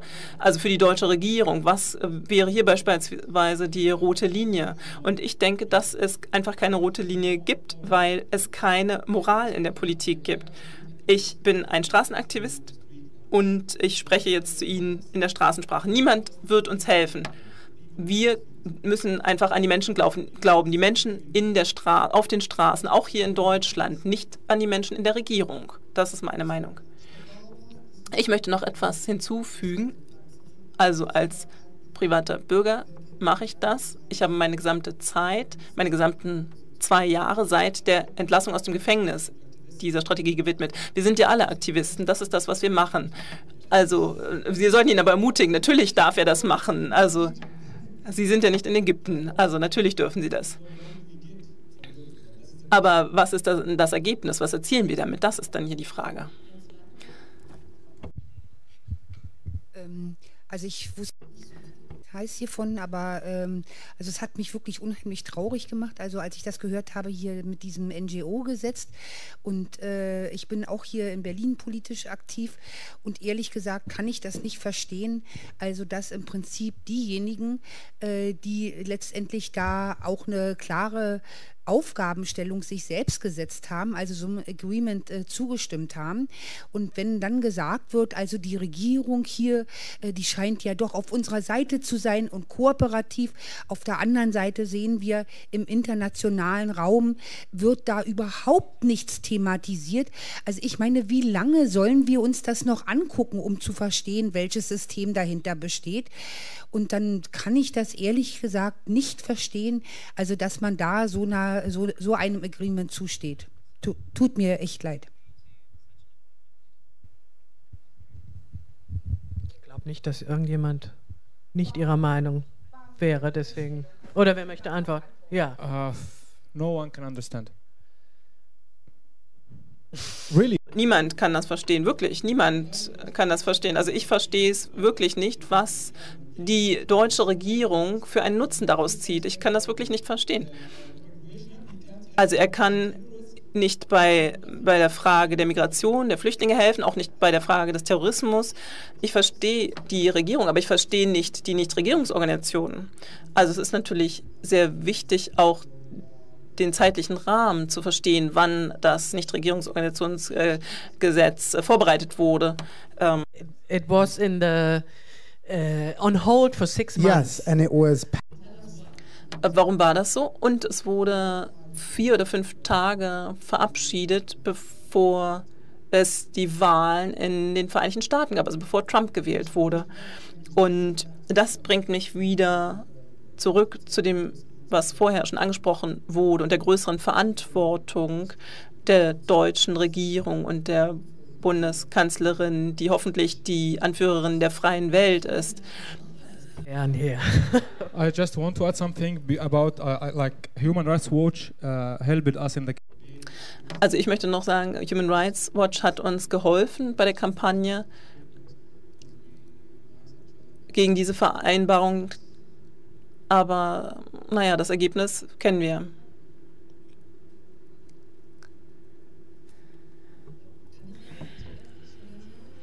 Ersten Reihe. Um, I would like to actually answer to you. Ich wollte eigentlich ganz gerne auf Sie äh, an, oder Ihnen antworten, Islam. Ich bin in einer ähnlichen Position. Hi, David. Ja, ich bin, ich bin David wer ich bin? Also ich, ich bin ein Gutmensch.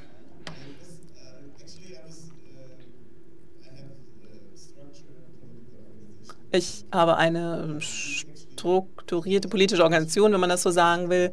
Und eigentlich kann ich dem, was Ahmed gesagt hat, nur zustimmen. Also wir dürfen uns nicht auf die Regierung verlassen. Wir dürfen uns nur auf uns selbst verlassen und dann hoffen, dass es andere Menschen gibt, die die gleichen Ansichten haben. Das kann uns dann helfen. Wir können das nur machen. Niemand sonst kann das tun.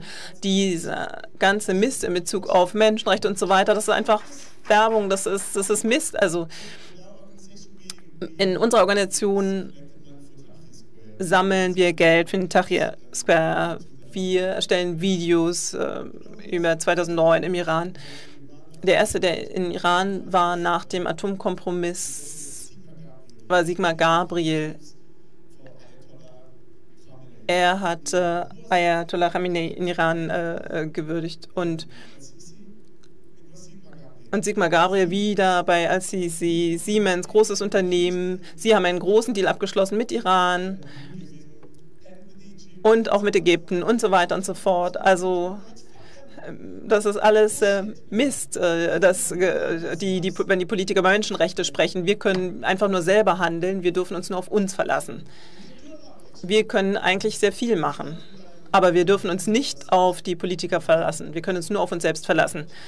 Ich möchte noch etwas hinzufügen, aber bitte kein Bullshit. Nein, also Bullshit sage ich jetzt nicht. Ähm, also, wir bitten nicht um Hilfe, weil wir versuchen, eine Revolution durchzuführen. Das heißt, wir bitten um Solidarität. Wir fordern Solidarität von der ganzen Welt. Und in Bezug auf diesen Mist, den die Politiker in Bezug auf die Menschenrechte verzapfen, muss ich sagen, also ich bin ein Aktivist, ich bin ein Menschenrechtsaktivist. Also es wäre sehr hilfreich und wenn wir Hilfe bekommen, aber insgesamt wird unser Regime nicht verändert werden. Wir sind dafür verantwortlich, es zu verändern. Also ich möchte noch einen ganz kurzen Kommentar dazu sagen. Als ich im Gefängnis war, habe ich nicht an die Regierungsorganisationen oder Institutionen vielmehr geglaubt als möglichen Weg zur Veränderung. Also ich habe hier etwas andere äh, Ansichten, wobei ich widerspreche nicht dem, was bereits gesagt wurde. Also zunächst einmal muss man wirklich die Menschen mobilisieren, die an demokratische Werte und Grundsätze glauben. Das müssen wir machen. Aber wir müssen auch anerkennen, dass diese Regierungsinstitutionen und die Veränderungsmechanismen, die es in freien und demokratischen Gesellschaften gibt, funktionieren und auch Menschen mobilisieren. Das heißt, Institutionen können verändert werden. Wir sind der lebende Beweis dafür. Aber wie können wir den Status quo verändern? Also wir müssen die Menschen mobilisieren, dass sie die Regierung dazu zwingen, zu handeln.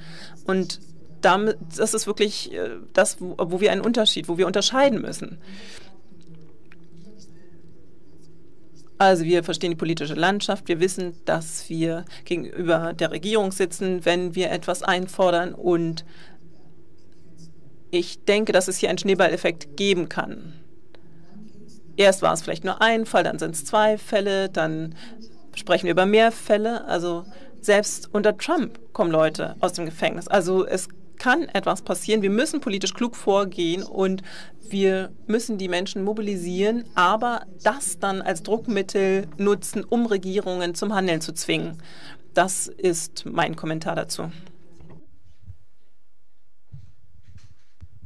Thank you. Um Vielen Dank.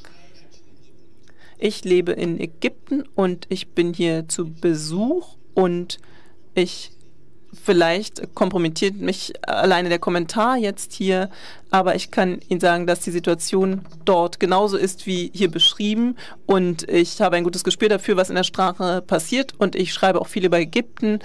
Ich bin auch Kopte, aber das schützt mich nicht vor einer Inhaftierung, weil sowohl für Kopten als auch in Bezug auf die Radikalisierung die Situation so schlimm ist. Die Regierung spricht über Flüchtlinge, Terrorismus, Kopten und das ist aber alles äh, falsch. Also da verstecken sie sich hinter etwas anderem. Ich habe einen Vorschlag, also wie wäre es, wenn wir über die Beteiligung Deutschlands sprechen, nicht in diesem gleichen passiven Ton, dass Druck ausgeübt werden sollte, aber es wurde nicht gemacht. Also wir ähm, versuchen nur zu helfen denn ich denke, dass Deutschland ein Partner von Ägypten ist. Sie sind Partner sowohl im Guten als auch im Schlechten. Und wenn es um die Polizei geht und die neue Vereinbarung, dann helfen sie. Also dann hilft Deutschland den ägyptischen Polizisten oder den Polizeistrukturen. Das heißt, ähm, das ist äh, so, dass hier Deutschland wirklich auch beteiligt ist. 2012 habe ich einen Investigativbericht äh, geschrieben über die Zensur von Artikeln im Auftrag des Militärs und gleichzeitig gab es eine Konferenz, wo der deutsche Botschafter interveniert hat, dass diese äh, nicht stattfinden konnte. Also zusammen mit dem Militär hat er das gemacht. Das heißt, wir können nicht nur fragen, na, warum wird das gemacht? Es gibt aber, also es gibt einfach ganz klare wirtschaftliche Interessen. Deutschland hat auch geholfen bei den Nummernschildern, in, mit den Pässen in Ägypten. Es gibt viele dubiose äh, Geschäfte mit der deutschen Industrie, militärische äh, Vereinbarung. Warum braucht Ägypten ein U-Boot?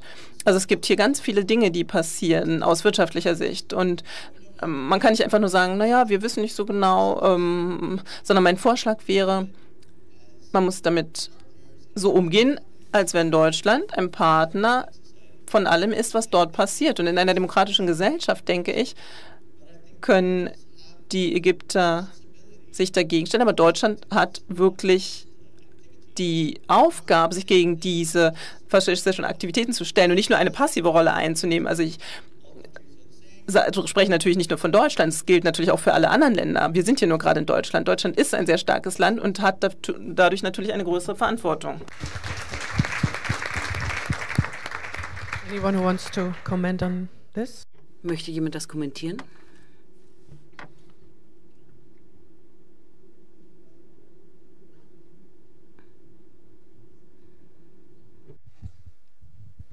Ich finde es also, wenn es keine Müttern hier gibt und sie sagen, wir hätten das gemacht, aber wir haben das, das, nicht, das nicht gemacht und wir wollen das wieder machen, also jetzt oder nochmal machen, wenn das so passieren würde, dann sehe ich also, dass es geht hier um die Sicherheit Deutschlands und Europas und natürlich auch die wirtschaftlichen äh, Interessen. Aber es geht nicht um Menschenrechte in diesen Ländern, weil wir das also seit Jahren hören. Sie haben auch Mubarak unterstützt. Ganz kurz, wer ist wir? Können also Sie einen die, Satz sagen, wer der Sie Westen, sind? weil wir auch den, den, wir haben also diesen Frage wer gestellt. Wer sind Sie? Ich bin also hier, ich lebe hier in Deutschland, also ich arbeite hier, ich bin Deutsche auch, also ich habe die Staatsbürgerschaft hier. Ich leiste meinen Beitrag zu diesem Land und identifiziere mich mit diesem Land. Aber was ich jetzt höre, ist es, das wird sich wiederholen, wiederholen. Jedes Mal, wenn ich das höre, höre ich also, wir haben Interessen, wir haben Interessen, wir haben Interessen. Das heißt also, die Politik ist so. Aber die Politik ist hässlich, wenn es nur um Interessen geht. Und das ist, was es in dem Fall passiert. Die Menschen in Ägypten, als sie jetzt diesen Aufstand, also als sie aufgestanden sind, haben selber das also gemacht. Aber die Unterstützung war auch sehr, sehr, sehr gering. Also das heißt, es gab keine richtige also Unterstützung. Und es gibt immer noch keine Unterstützung. Natürlich ist es gut, wenn man das thematisiert und hier setzt und das darüber diskutiert und sagt, okay, da gibt es und hört man also diese Geschichten und Stories. Aber ich, ich sehe auch, dass es Hoffnung gibt. Aber wie können wir das also jetzt, wie kann die Prognose jetzt aussehen in den nächsten 30 Jahren? Das weiß man nicht. Mubarak war 30 Jahre an der Macht mit der Unterstützung also des Westen und Europa, also Europas und Amerikas. Ich bin also, also kein, Fundament, äh, kein Fundamentalist oder sowas, aber ich sage das. Wann hören wir, dass etwas also unternommen wird, um äh, etwas, um uns durchzusetzen als Politiker hier? Wir reden immer über Kooperation, Interessen, Kooperation. Wir wissen, dass also Deutschland Interessen in Ägypten hat und auch im Nahen Osten. Amerika hat auch Interessen. Europa hat Interessen. Aber Menschenrechte spielen keine Rolle in der Politik. Das ist bis jetzt nicht richtig thematisiert wurde in dem Treffen mit Merkel und, und, und äh, Sisi. Nicht richtig thematisiert, dass ab, also ein Abkommen unterschrieben wurde und wir sagen, wir hätten, wir hätten, wir hätten und wir wurden. Da muss ich ganz kurz unterbrechen. Wir, wir haben hier keine Politiker sitzen, die Sie dafür verantwortlich machen können. Insofern, haben Sie noch eine Frage? Also wir, wir, wir verteidigen die Politik hier auch. Ja, wir haben ja. Also ich, es ist wirklich And this is what, what, are, what we are trying to change. Ja, das genau wollen wir ja verändern. Ibrahim, genau das wollen wir verändern. Wir sehen das schon als Problem. Was gesagt wurde. Ähm, sich für Menschenrechte einzusetzen, ist äh, sozusagen erstmal ein Selbstzweck. Das ist ganz klar. Also das muss man nicht durch irgendwas anderes begründen. Aber ich denke dennoch, dass es in der politischen Debatte, wenn man versucht, Einfluss auf Politik, auf Außenpolitik zu nehmen, ähm, wahrscheinlich nicht ausreicht. Äh, einfach nur zu sagen, ihr müsst euch für Menschenrechte einsetzen, der Menschenrechte wegen. So wichtig ich das persönlich auch finde. Sondern ich denke, es ist wichtig, eben politischen Entscheidungsträgern auch klarzumachen, wenn sie sich nicht für Menschenrechte in einem Land wie Ägypten einsetzen, hat das auch für uns Folgen, die erstmal gar nicht mit den Menschenrechtsverletzungen in Ägypten zusammenhängen. Und die Folgen werden immer offensichtlicher. Ich meine, wir haben das gehört. Radikalisierung ist ein, ein Punkt, der ist äh, ganz zentral. Ja, wenn wir einfach ignorieren, dass hier systematisch Menschenrechte verletzt werden ähm, und gleichzeitig dadurch eben sich Menschen radikalisieren in ägyptischen Gefängnissen, ähm, dann können wir nicht einfach sagen, hey, Menschenrechte sind uns in Ägypten sind uns erstmal egal. Die sind uns, können uns nicht egal sein, weil es letztlich auf uns zurückwirken äh, wird. Ja, also ich denke, das ist schon ganz wichtig, darauf auch immer hinzuweisen. Ähm, der Mann mit der roten Hand meldet sich die ganze Zeit.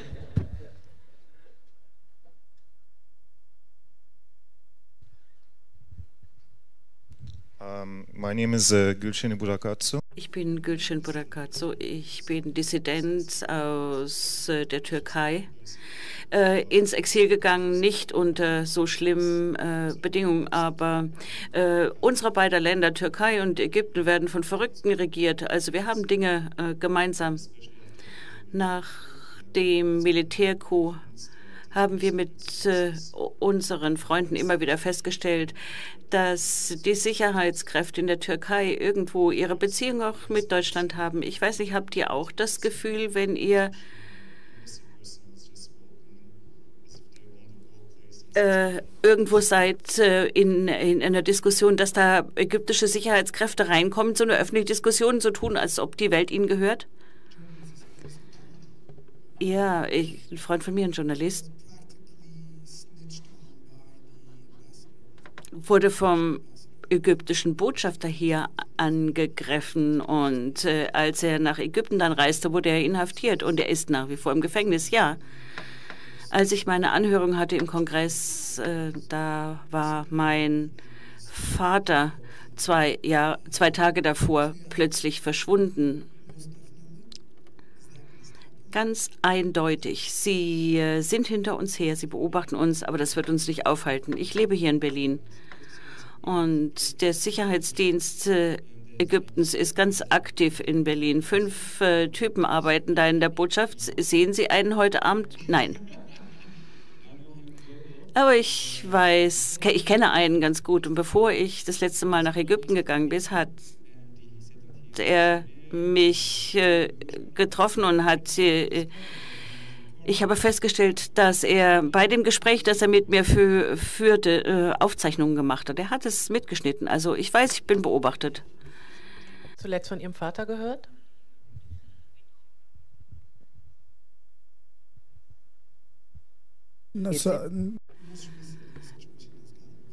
Seine Situation hat sich in letzter Zeit verbessert. Aber einfach deshalb, weil ich äh, mich doch durchaus klar und deutlich äußere. Das ist schon strategisch auch so von mir gewollt.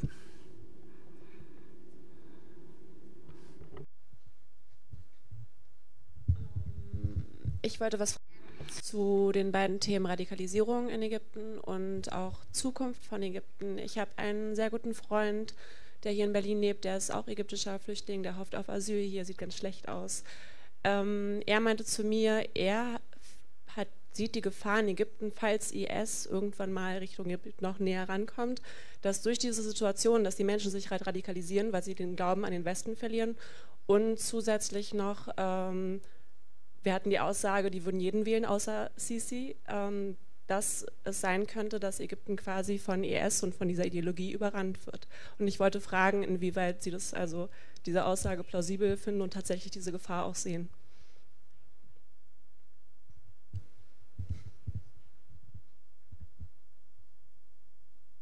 Uh ja, natürlich.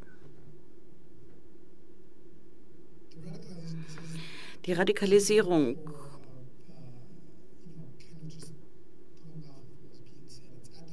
ist das zentrale Element aller dieser Themen, die wir diskutieren im Lichte der Menschenrechte. Bei Menschenrechten geht es nicht nur um einen Wert, ein Prinzip, da gibt es auch ein klares Interesse. Und das ist das Argument, was immer wieder geäußert wird in Bezug auf die Flüchtlingsfrage, in Bezug auf die Radikalisierung.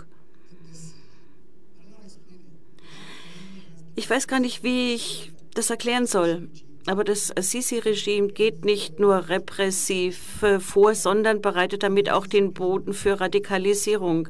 Es ist sogar so, dass, das, dass ich weitergehen würde und sagen würde, das äh, Regime fördert Radikalisierung. Ich habe das auf Twitter gesagt.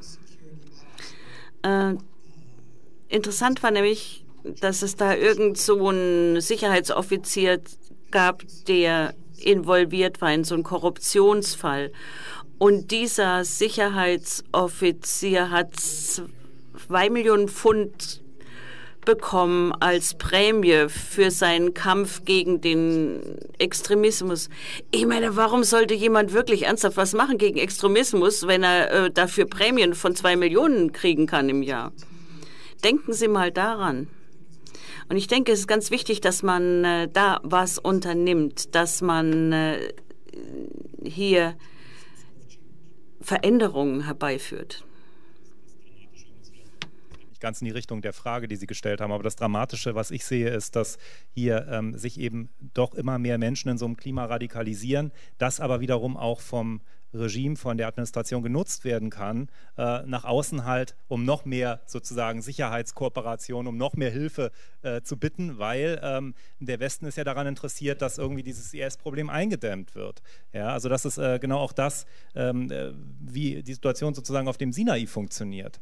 Ja, das, äh, es ist halt gut für ein Land, ein bisschen IS auf seiner Erde zu haben, weil äh, dann äh, hat man äh, einen guten Grund, um, um noch mehr äh, Unterstützung äh, im Westen zu werben. Und der Westen, der fällt sozusagen auf dieses Argument, der Westen klingt jetzt ein bisschen breit, aber eben westliche Staaten, westliche Regierungen fallen auf dieses Argument auch immer wieder drauf rein. Das muss man ganz klar sagen. It's, it's, a, it's a page, it's a page. Ja, das Al-Assad hat mal äh, geschrieben, dass äh, ja, wenn ich die äh, Flücht wenn ich die äh, Gefangenen alle rauslasse aus dem Gefängnis, dann habt ihr den IS über er, überall. Das hat er in einem seiner Bücher geschrieben, äh, aber ein bisschen auch klug verpackt. Ich will vielleicht noch einen Satz hinzufügen. Alle Diktaturen in der Geschichte haben irgendwo ein Schreckgespenst auf den Plan gerufen, um den Leuten Angst einzujagen. Und in Ägypten heißt dieses Schreckgespenst IS.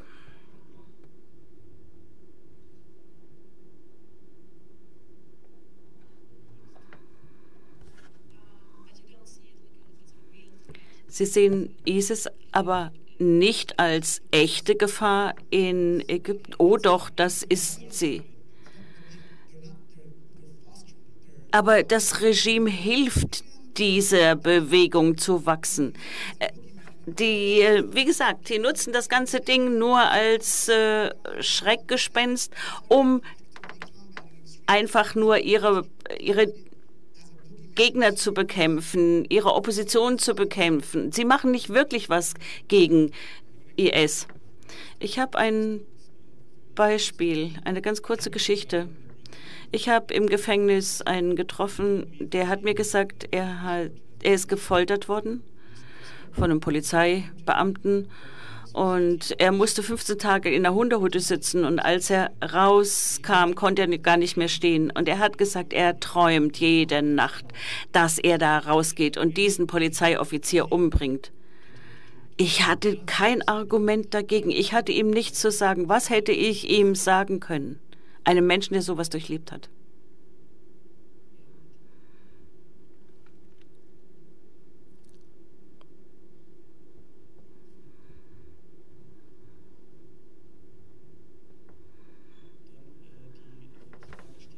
Ja, vielen Dank, Mohammed und Ahmed und Stephen auch für die alle Sachen und Angelegenheiten, die Sie zu Diskussion gebracht haben. Aber lassen Sie mich ähm, erstmals auf Englisch reden wegen Mohammed.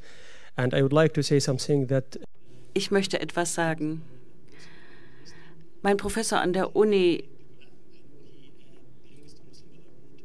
äh, war ein Angehöriger der Muslimbruderschaft. Ich habe ihn trotzdem äh, unterstützt, weil er wirklich ein toller Mann ist, äh, Mohammeds Vater. Noch etwas zur Radikalisierung, zur Rekrutierung und äh, auch zur Zukunft der koptischen Minderheit. Die ägyptische Gesellschaft hat seit der ersten Revolution immer die gleichen Fragen zu lösen. Immer die Fragen des Nationalismus und seiner Ausdrucksform sind für uns äh, zentral. Es geht auch um die Haltung zu Minderheiten generell und zum Islam im Allgemeinen. Und äh, genau deswegen, weil es so viele offene Fragen gibt, äh, mögen die Leute die Muslimbruderschaft nicht. Äh, ganz kurz zu meiner Arbeit. Ich arbeite als Student gerade an, an der Geschichte äh, von Minderheiten. Und äh, es gibt hier natürlich auch um die Zukunft der koptischen Minderheit. Und ich denke, im Moment ist diese Minderheit mit dem gleichen äh, Schicksal bedroht wie die jüdische Minderheit. Und hier gibt es systematische Verfolgung. Äh, nach äh, den Massakern der letzten Zeit äh, kann sich die Minderheit nicht mehr schützen. Wir können unsere kulturelle und historische Dimension, unsere Vielfalt in Ägypten nicht mehr schützen. Ich weiß, ich bin auch Aktivist. Ich lebe im Exil und ich frage mich, wie können wir weiterleben in Ägypten? Wir brauchen Freiheit. Freiheit kommt äh, an erster Stelle und ist die Vorbedingung für alles das, was Sie hier gesagt haben. Hat man ein freies Umfeld, dann ist man in der Lage, die Rechte von Minderheiten zu schützen. Wenn es Rechtsstaatlichkeit gibt anstatt Willkür des Gesetzes, kann man Minderheiten schützen. Dann kann man nicht nur eine Verfassung schreiben, die gut aussieht, man kann sie dann auch umsetzen. Man hat die Mechanismen. Also wie gesagt, Freiheit ist zu allem die Vorbedingung. Und das ist der gemeinsame Nenner, den alle Menschen erwähnen werden, die je in einer freien Gesellschaft gelebt haben. Hannah Arendt hat die Revolution definiert. Sie hat äh, geschrieben, man hat erst die Phase der Befreiung und dann der Freiheit. Die Befreiung kommt zuerst. Und das ist der erste Schritt, Befreiung von diesem Regime, das uns an Weiterentwicklung hindert. Und ich denke, der Aufstand äh, vom Januar hat äh, diese Frage beantwortet. Freiheit, äh, Gleichheit und Gerechtigkeit. Ich weiß,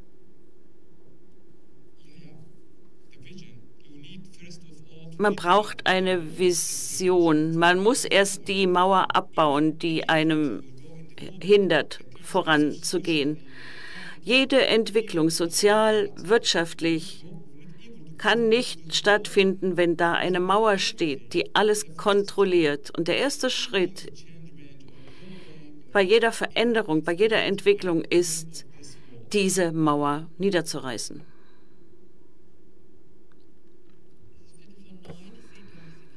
Not satisfied by the answer, but what can I do? Das ist vielleicht keine zufriedenstellende Antwort, aber das ist die einzige, die ich habe.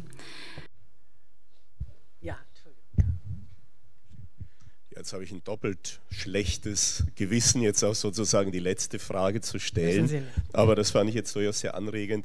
Äh, also von einer, Politik, von einer politikwissenschaftlichen Perspektive aus. Sie sind nicht aus Ägypten, nehme ich äh, an. Nein, ich bin nicht aus Ägypten. Man hört es mir vielleicht an, oder man sieht es mir vielleicht Österreich? an, ich weiß nicht. Ja, aus Österreich. Ähm, aber die, äh, die Frage aus einer politikwissenschaftlichen Perspektive ist doch dann die, ja, welche strukturellen Defizite hat das jetzt herrschende Regime und wenn sie die Revolution dann erfolgreich durchsetzen, was würden sie denn ändern? Ich meine, das ist jetzt fies, jetzt am Ende eine solche, ja sicherlich sehr aufwendig zu beantwortende Frage zu stellen, aber das scheint mir dann doch, also dieses, diesen Aspekt der Vision aufgreifend, dann doch nicht ganz unwesentlich zu sein. Also woran liegt es, dass Ägypten, das ja durchaus auch gesegnet ist, was äh, landwirtschaftliche Möglichkeiten und so weiter beträfe, äh, warum äh, ja, Ägypten in dieser Situation ist, in der es ist. Das ist eine Frage, die eigentlich über der ganzen Diskussion steht. Äh, ich weiß gar nicht, ob wir da jetzt eine Antwort erwarten können oder ob die überhaupt möglich ist. Ja, also ich meine, ich, ich sehe schon als ganz zentrale, sozusagen zentrale strukturelles Problem, dass es eben die Allmacht des Militärs gibt und das Militär wirklich ein ganz zentraler Akteur im, in der ägyptischen Politik, Gesellschaft, Wirtschaft in allen Bereichen im Grunde genommen ist und äh, hier sehr auf seine Interessen bedacht ist und äh, das ähm, äh, natürlich äh, versuchen wird, mit allen Mitteln äh, sozusagen jeden Wandel zu unterbinden, der gegen die eigenen Interessen gehen könnte. Ähm, ich denke trotzdem, und vielleicht bin ich da auch so ein bisschen bei Mohammed, der äh, gesagt hat, wir müssen sehr smart sein. in, in, der Art und Weise, wie wir mit diesem Regime umgehen. Ich meine, es gibt auf der einen Seite die Forderung eben von unten, dass es eine neue Revolution geben muss, dass es so das, was du gesagt hast, dass man sich gegen die, diese Wand erheben muss. Auf der anderen Seite Dritte. sehe ich aber auch, dass es in der Elite, in der ägyptischen Elite doch immer ähm, mehr Spannungen auch gibt. Äh, das heißt nicht, dass morgen sozusagen das ganze System implodiert, aber wir sehen äh, durchaus unter Sisi, dass es hier äh, zunehmend Unzufriedenheit gibt, auch in äh, Teilen der Elite, dass Sisi es nicht schafft, aus meiner Beobachtung heraus sozusagen tragfähige, auf, auf einen längeren Zeitraum auch ähm, wirkende Netzwerke aufzubauen. Er wechselt sehr häufig Personen aus, äh, dadurch entstehen natürlich auch Verletzungen einzelner Akteure in der Elite. Ähm, also hier sehe ich durchaus auch Spielraum dafür, dass ähm, es Wandel geben könnte irgendwann in Zukunft. Und ähm, Mohammed hat völlig recht, wenn er sagt, äh, dass äh, wir auch vielleicht genau auf solche Akteure gucken sollten und auch solche Akteure vielleicht gezielt unterstützen sollten, ähm, die hier äh, vielleicht auch von oben äh, sozusagen Raum schaffen, damit es auch Veränderungen geben kann.